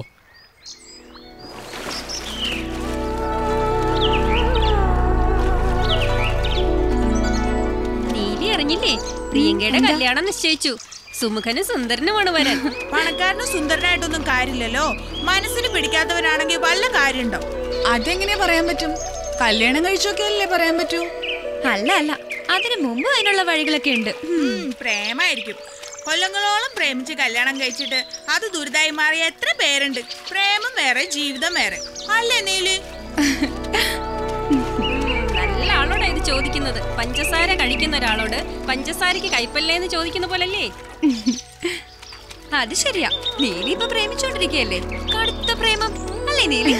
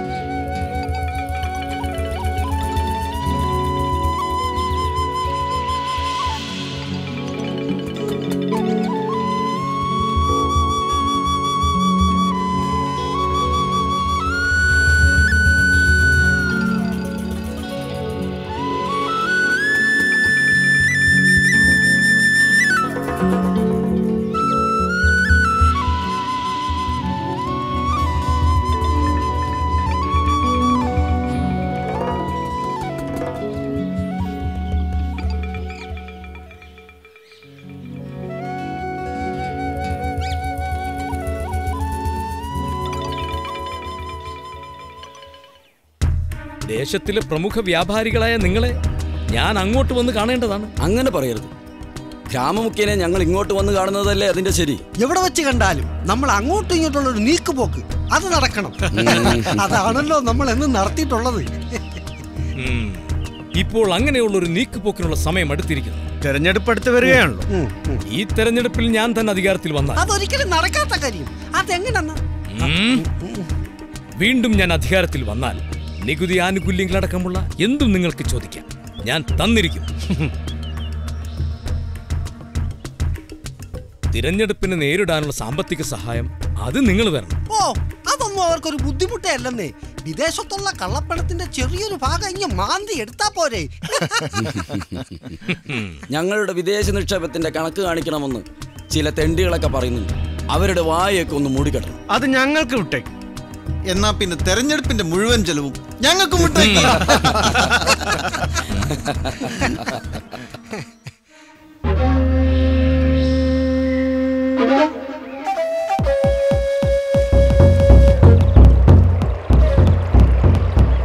പ്രിയപ്പെട്ട ഗ്രാമവാസികളെ നിങ്ങൾക്കൊരു പ്രത്യേക അറിയിപ്പ്. പ്രിയപ്പെട്ട ഗ്രാമവാസികളെ നിങ്ങൾക്കായൊരു അറിയിപ്പ്. എല്ലാ ഗ്രാമവാസികൾക്കും ആഴ്ചയിൽ ഒരിക്കൽ ഗ്രാമമുഖ്യന്റെ പാരിതോഷികമായി പത്ത് പണം വീതം നൽകുന്നതായിരിക്കും. സമയാസമയങ്ങളിൽ ആ പണം കൈപ്പറ്റണമെന്ന് ഗ്രാമമുഖ്യൻ എല്ലാവരെയും അറിയിച്ചു കൊള്ളുന്നു അത് കൊള്ളാം അല്ലേ? അത് കൊള്ളാം. ഭരിക്കുന്നവരായ എങ്ങനെ വേണം? പക്ഷെ ആഴ്ചയിൽ ഒരിക്കലല്ലേ ഉള്ളൂ. എന്നാ ദിവസേന പത്തിരുപത്തഞ്ച് പണം പോരെ കൊണ്ട് തരാം. മതിയോ? അങ്ങനെയാണെങ്കിൽ എന്താ സുഖോ? ഒരു പണിക്കും പോണ്ടല്ലോ. പക്ഷെ പതുക്കെ. ഗ്രാമമുഖ്യന്റെ ആളുകൾ കേട്ടാൽ സ്വപ്നം കണ്ടു കേസെടുക്കും. ഞാൻ സ്വപ്നം കണ്ടതല്ല ഒരു അഭിപ്രായം പറഞ്ഞതല്ലേ. അഭിപ്രായം പറയാനുള്ള സ്വാതന്ത്ര്യം നമ്മുടെ നാട്ടിൽ വേണ്ടോളുണ്ടല്ലോ സന്തോഷായില്ലേ?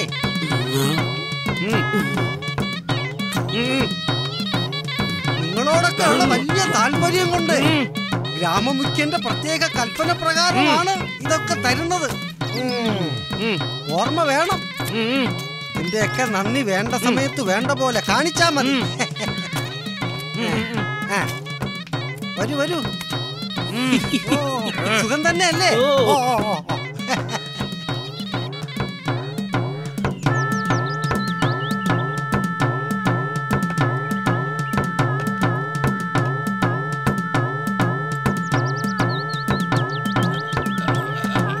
അതെ. ഒരു സംശയമുണ്ട്. ചോദിച്ചടാ. ദർബാറിൽ നിന്ന് നമുക്ക് പൈസ തന്നു. ആ പൈസയുടെ നമ്മൾ മദ്യം വാങ്ങി. അതെ. പൈസ തിരിച്ച് അവിടെ കേട്ട് പോയില്ലേ? നമ്മൾ ഒരു വരി അവിടെ നിന്ന് ഇവിടെ നിന്ന്. ഇതിപ്പോ നമ്മൾ ഒരു വരി അധികം നിന്നില്ലേ? എന്താ ഞാൻ പറഞ്ഞത് ശരിയല്ലേ? അതിപ്പോ ശരിയാണെന്ന് ചോദിച്ചാൽ ഞാൻ ആണെങ്കിൽ ആണെന്ന് പറയുന്നു. അല്ലെങ്കിൽ അല്ല.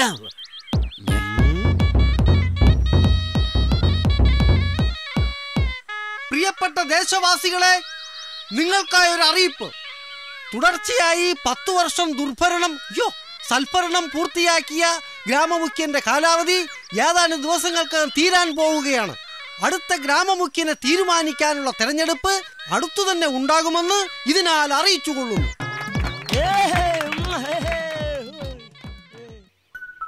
പത്ത്.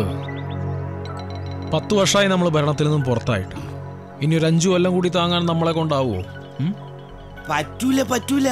അഞ്ചു വർഷം പോയിട്ട് അഞ്ച് നിമിഷം പറ്റൂല. സഹിച്ചിക്കണം. ഒരുപാട് സഹിച്ചിക്കണം. അല്ല പിന്നെ. ഒരു വിദേശയാത്രയ്ക്ക് ചെയ്ത കാലം തന്നെ മറന്നു. ആ മുമ്പ് ഭരിച്ചപ്പോ സ്വരുക്കൂട്ടി വെച്ചതൊക്കെ തീർന്നിക്കുന്നു ഇത്തോടെ തന്നെ പോവുകയാണെങ്കിൽ പട്ടിണി കിടന്ന് ചത്തു പോവും അങ്ങനെ സംഭവിക്കേണ്ടെങ്കിൽ തന്ത്രങ്ങൾ ഇപ്പോഴേ മെനഞ്ഞു തുടങ്ങണം തെരഞ്ഞെടുപ്പ് അടുക്കുമ്പോഴേക്കും ആൾക്കാരെ കയ്യിലെടുക്കാനുള്ള പൊടിക്കൈകൾ അവർ തുടങ്ങിക്കഴിഞ്ഞു? അതിന് സമ്മതിക്കരുത്.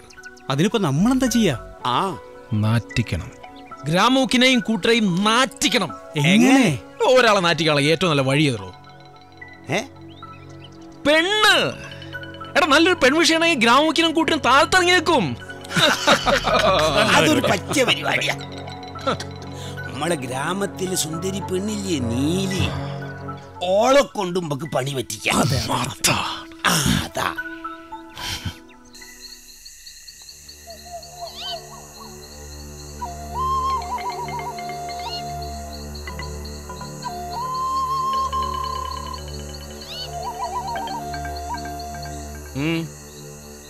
കാര്യക്കാരെ ഒരു സന്തോഷ വാർത്തയുണ്ട്. കാര്യക്കാരുടെ സ്വപ്നം നടക്കാൻ പോകുന്നു. ഗ്രാമമുഖ്യൻ പെണ്ണുകേസിൽ കുടുങ്ങി പുറത്തു പോകാൻ പോകുന്നു. ഗ്രാമമുഖ്യനെ കൊടുക്കാനുള്ള പദ്ധതികൾ തയ്യാറായിക്കൊണ്ടിരിക്കുക നേരോ? ഗൂഢാലോചന നടക്കുന്ന സമയത്ത് ഞാനും അവിടെ ഉണ്ടായിരുന്നു. നടക്കട്ടെ നടക്കട്ടെ. എന്റെ എല്ലാ ധാർമ്മിക ബന്ധനയും ഞാൻ വാഗ്ദാനം ചെയ്യുന്നു. ആ ഗ്രാമമുഖ്യൻ നാറി താഴെ വീണിട്ട് വേണം എനിക്കൊരു കസേര കളി കളിക്കാൻ. ഈ പരസ്പര സഹായം എപ്പോഴുണ്ടായാൽ നിനക്കും നന്ന് എനിക്കും നന്ന്. ഓ കാര്യക്കാരെ.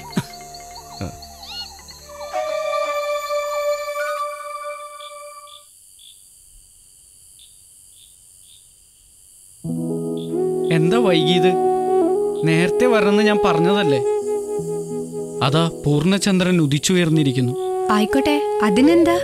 പൂർണചന്ദ്രൻ ഉദിച്ചു വരുമ്പോഴുള്ള ആദ്യത്തെ വെളിച്ചം നിന്റെ മുഖത്ത് തട്ടുമ്പോഴുള്ള ആ സൗന്ദര്യം അത് കാണാൻ വേണ്ടിയാണ് നിന്നോട് ഞാൻ നേരത്തെ വരാൻ പറഞ്ഞത്. നിനക്ക് ഭ്രാന്ത. അതെ എനിക്ക് ഭ്രാന്ത. നിന്നോടുള്ള പ്രണയം മൂത്തുള്ള ഭ്രാന്ത്. ഇതിനുള്ള ചികിത്സ നിന്റെ അടുത്ത് മാത്രമേ ഉള്ളൂ. നിനക്ക് മാത്രമേ ഇത് മാറ്റാൻ കഴിയൂ. വേണ്ട വേണ്ട. വേല കയ്യിലിരിക്കട്ടെ. പിന്നെ നീ എന്തിനാ ഇങ്ങോട്ട് പോന്നെ? വെറുതെ നീ വിളിച്ചതല്ലേ? അതുകൊണ്ട് വന്നതാ. അപ്പൊ ഞാൻ പൊക്കോട്ടെ. അപ്പൊ ചികിത്സ വേണ്ടേ?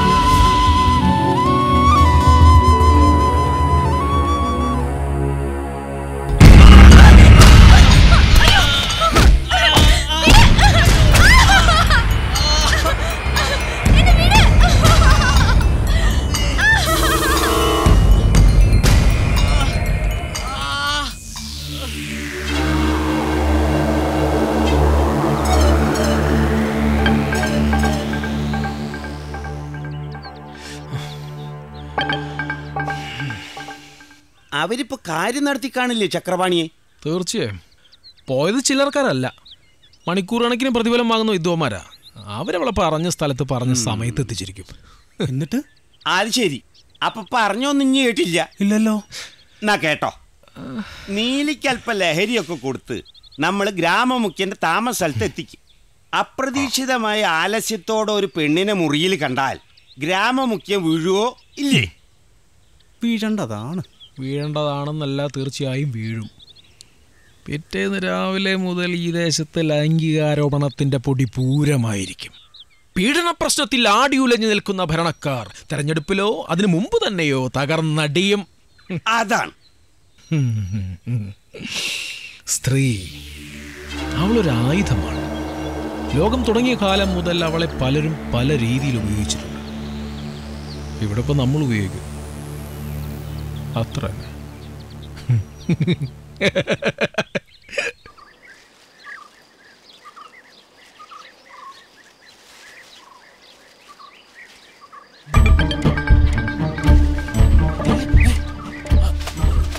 നമ്മളെ പ്രപഞ്ചനല്ലേ കിടക്കുന്നത്? പ്രപഞ്ച. പ്രപഞ്ച. പ്രപഞ്ച.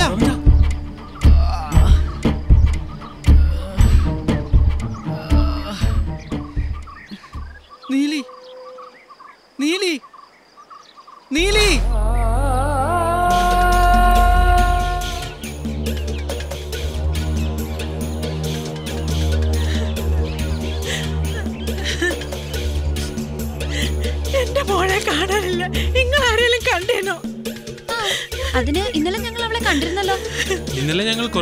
വർത്താനം പറഞ്ഞിരുന്ന? ദൈവമേ എന്റെ മോളെ അവിടെ പോയി. സന്ധ്യ വരെ പോരെ. തങ്കമണീന്റെ അടുത്തേക്ക് പോവാന്ന് പറഞ്ഞു പോയതാ. ഇടയ്ക്കൊക്കെ അവൾ പോവാറുണ്ട്. രാവിലെ ആയിട്ടും കാണാതായപ്പോ ഞങ്ങൾ അന്വേഷിച്ച് അപ്പോഴാ തങ്കമണീന്റെ അടുത്ത് എത്തിയിട്ടില്ല എന്ന് പറഞ്ഞു. എന്റെ മോളെ ആരെങ്കിലും എന്തെങ്കിലും ചെയ്തിട്ടുണ്ട്? എന്റെ കുമുദം. ഇവിടെ എവിടെയെങ്കിലും ഉണ്ടാവും. നമുക്ക് കണ്ടുപിടിക്കാം. എന്നിട്ട് തങ്കമണി എവിടെ? ഓരും പല വഴിക്ക് തെരഞ്ഞുകൊണ്ടിരിക്കുക എന്നാ വാ നമുക്കും പോവാ. ആ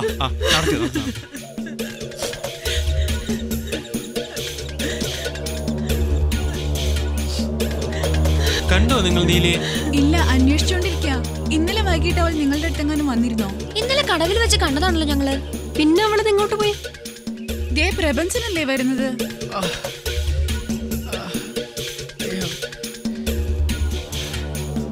നിങ്ങൾ ആരെങ്കിലും നീലിയെ കണ്ടോ? അയ്യോ ഇന്നലെ മൂന്നാൽ പേര് വന്ന് അവിടെ ഒന്ന് തലയ്ക്കൊക്കെ അടിച്ച്. ആരെങ്കിലും കണ്ടോ എന്റെ നീലിയെ? നമുക്ക് അന്വേഷിക്കാം. എവിടെ പോയി അന്വേഷിക്കാനാ? നമുക്ക് കാവൽ പാളയത്തിലേക്ക് പോവാം. നടക്ക് നടക്ക് നടക്ക്. എല്ലാരും നടക്ക്.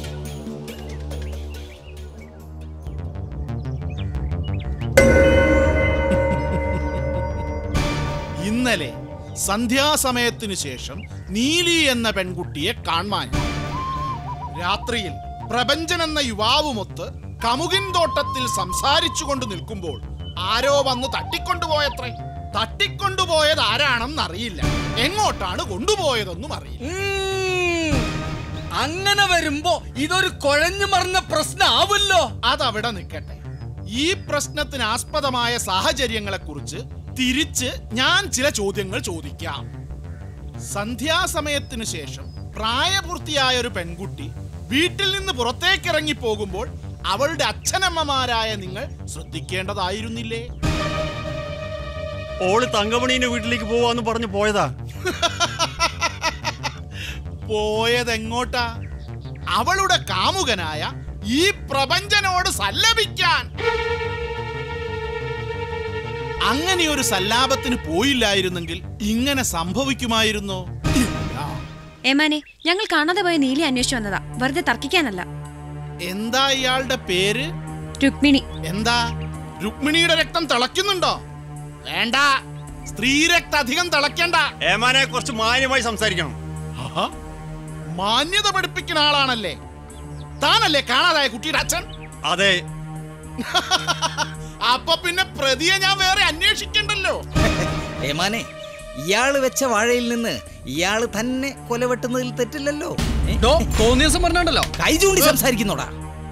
ആ പെണ്ണിനെ പീഡിപ്പിച്ച് കൊന്ന് കുഴിച്ചു മൂടി എന്നുള്ള കുറ്റം ചാർത്തി നിന്നെ അകത്തിടാൻ അറിയാഞ്ഞിട്ടല്ലടാ നായിന്റെ മോനെ. ഈ പ്രശ്നം എങ്ങനെ അന്വേഷിക്കണമെന്നും എങ്ങനെ പ്രതികളെ പിടിക്കണമെന്നും ഞങ്ങൾക്കറിയാം. അത് ഞങ്ങളെ ആരും പഠിപ്പിക്കണ്ട. ആ പരാതി വന്നു കഴിഞ്ഞില്ലേ? ഇനി എല്ലാരും പോയാട്ടെ? പിടിച്ചു മാറ്റടാ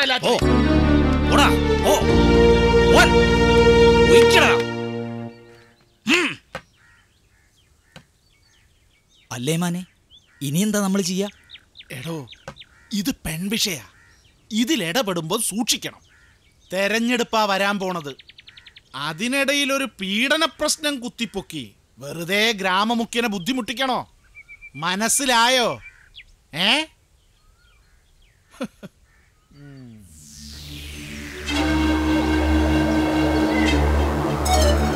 സമാധാനം തിരിച്ചുകൊണ്ടുവരിക. തിരിച്ചുകൊണ്ടുവരിക. കാവലമാനെ പിരിച്ചുവിടുക. നീലിയെ കൊന്നവനെ കണ്ടുപിടിക്കുക. ഗ്രാമമുഖ്യൻ നീതി പാലിക്കുക. സമാധാനം തിരിച്ചുകൊണ്ടുവരിക. കാവലമാനെ പിരിച്ചുവിടുക. നീലിയെ കൊന്നവനെ കണ്ടുപിടിക്കുക.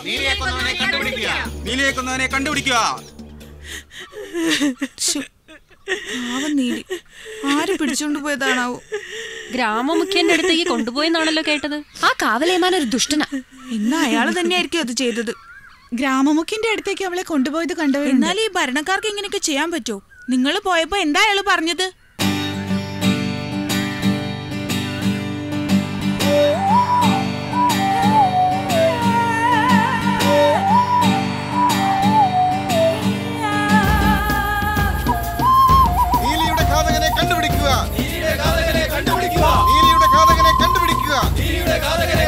കണ്ടുപിടിക്കുക. നീലിയുടെ ഘാതകനെ കണ്ടുപിടിക്കുക. നീലിയുടെ ഘാതകനെ കണ്ടുപിടിക്കുക. രാമമുഖ്യൻ നീതി പാലിക്കുക. രാമമുഖ്യൻ നീതി പാലിക്കുക. രാമമുഖ്യൻ നീതി പാലിക്കുക. രാമമുഖ്യൻ നീതി പാലിക്കുക. രാമമുഖ്യൻ നീതി പാലിക്കുക. രാമമുഖ്യൻ നീതി പാലിക്കുക. കാവലേമാനെ പിരിച്ചു വിടുക കാവലേമാനെ പിരിച്ചു വിടുക കാവലേമാനെ പിരിച്ചു വിടുക കാവലേമാനെ പിരിച്ചു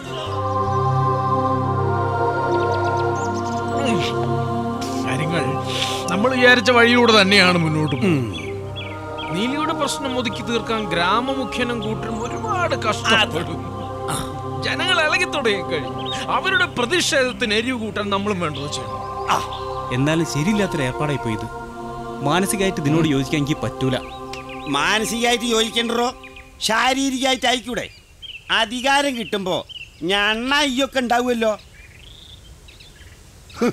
ഒരു കാര്യം തീരുമാനിച്ചാ ഒരുമിച്ച് നിൽക്കാൻ പഠിക്കണോ ആദ്യം? അല്ല പിന്നെ. ഇവനെ സൂക്ഷിക്കണം. ഇവന് നമ്മുടെ സംഘത്തിൽ നിന്ന് പുറത്താക്കേണ്ട സമയം അതിക്രമിച്ചിരിക്കുന്നു. നിക്കട്ടെ. വേണ്ടത് ചെയ്യാ. കാര്യക്കാരൻ വരുന്നു.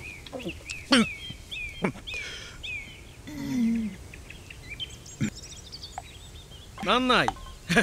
കാര്യങ്ങൾ ഞാൻ വിചാരിച്ചതിനേക്കാൾ ഭംഗിയായി. നിങ്ങൾ ചെയ്തു.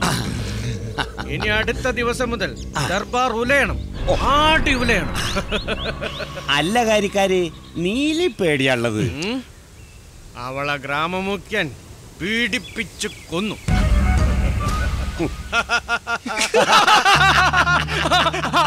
ആരോപണം കൂടെ നാളത്തെ പ്രതിഷേധ താളിക്കത്തി?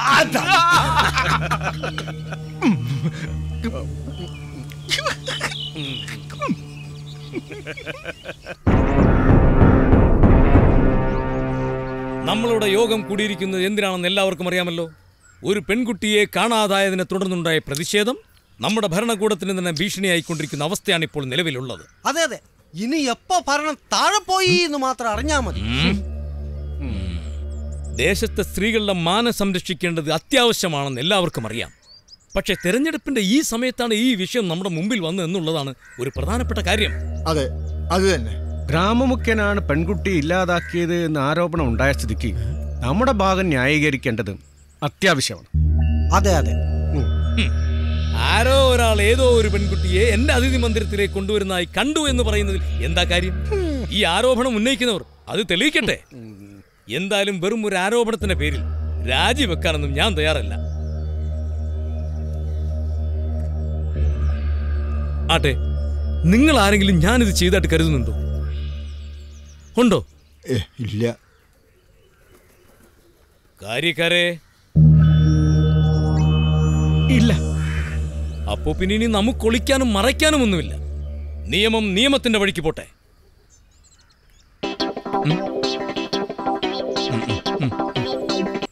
നമുക്കിപ്പോ ഈ പ്രശ്നത്തിൽ നിന്നും ജനങ്ങളുടെ ശ്രദ്ധ തിരിച്ചുവിടണം. അതിനെന്താ ചെയ്യാ?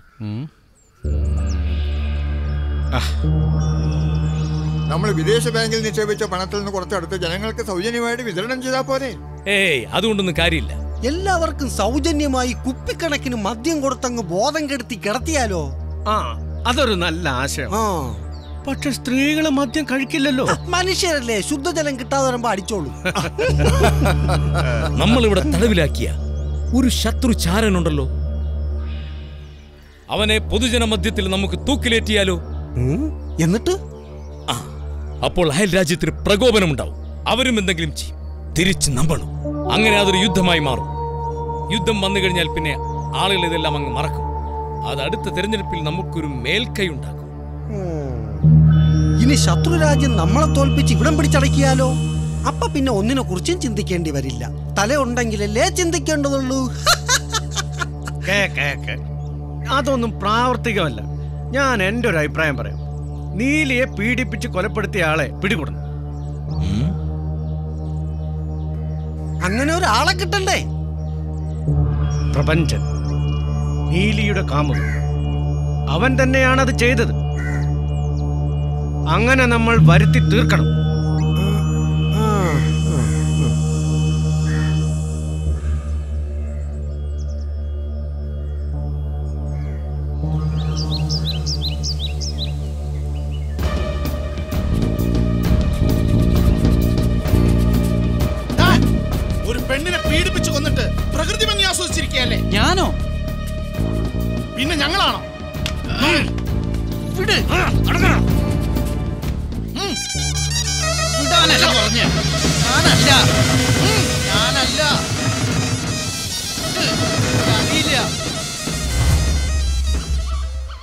ദേശവാസികളെ ആദിമകാലം മുതൽ സ്ത്രീത്വത്തിന് നമ്മളൊരു ബഹുമാനം കൽപ്പിച്ച് പോന്നിട്ടുണ്ട്.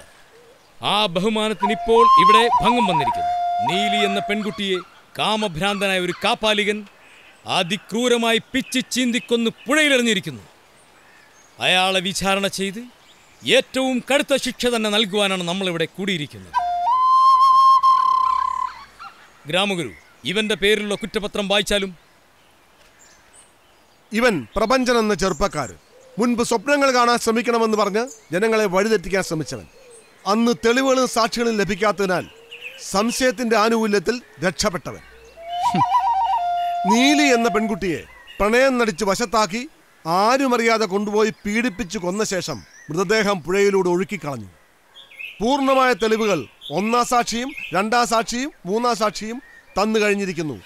ആ സ്ഥിതിക്ക് പ്രപഞ്ചൻ തന്നെയാണ് ഈ ക്രൂരത ചെയ്തതെന്ന് വ്യക്തമായി കഴിഞ്ഞിരിക്കുന്നു.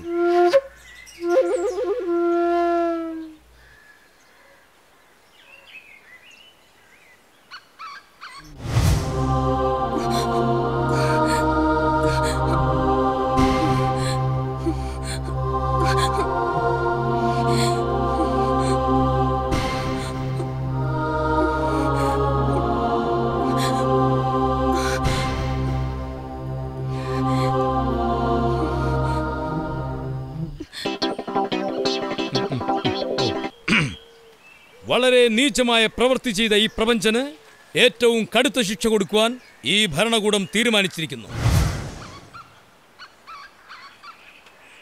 കരിമ്പൻ മലയിൽ നിന്നും താഴോട്ട് വലിച്ചെറിഞ്ഞവനെ കൊല്ലുക.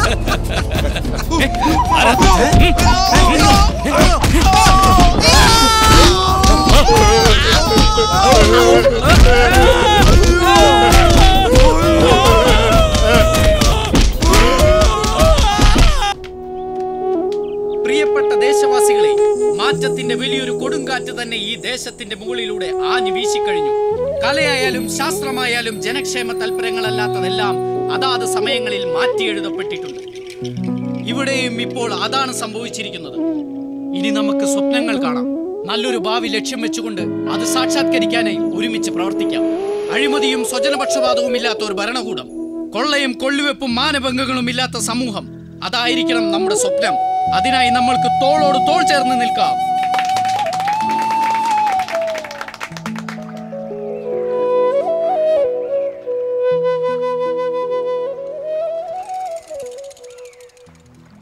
ജി കെ സാർ മലയാളം ചാനലിന്റെ ഫിലിം ഷോ എന്ന പ്രോഗ്രാമിന് വേണ്ടി ഈ സിനിമയെക്കുറിച്ച് കുറച്ച് കാര്യങ്ങൾ പറയാമോ? പിന്നെന്താ? പറയാലോ.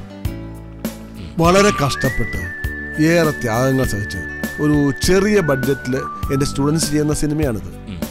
ഇതിന്റെ ആശയം വളരെ ശക്തമായും വ്യക്തമായും അവതരിപ്പിക്കാൻ അവർക്ക് സാധിച്ചിട്ടുണ്ടെന്നാണ് ഞാൻ വിശ്വസിക്കുന്നത്. ചിരിയും ചിന്തയും എല്ലാം ഈ സിനിമയിലുണ്ട്. ഇനി നിങ്ങൾ കണ്ടു നോക്കൂ.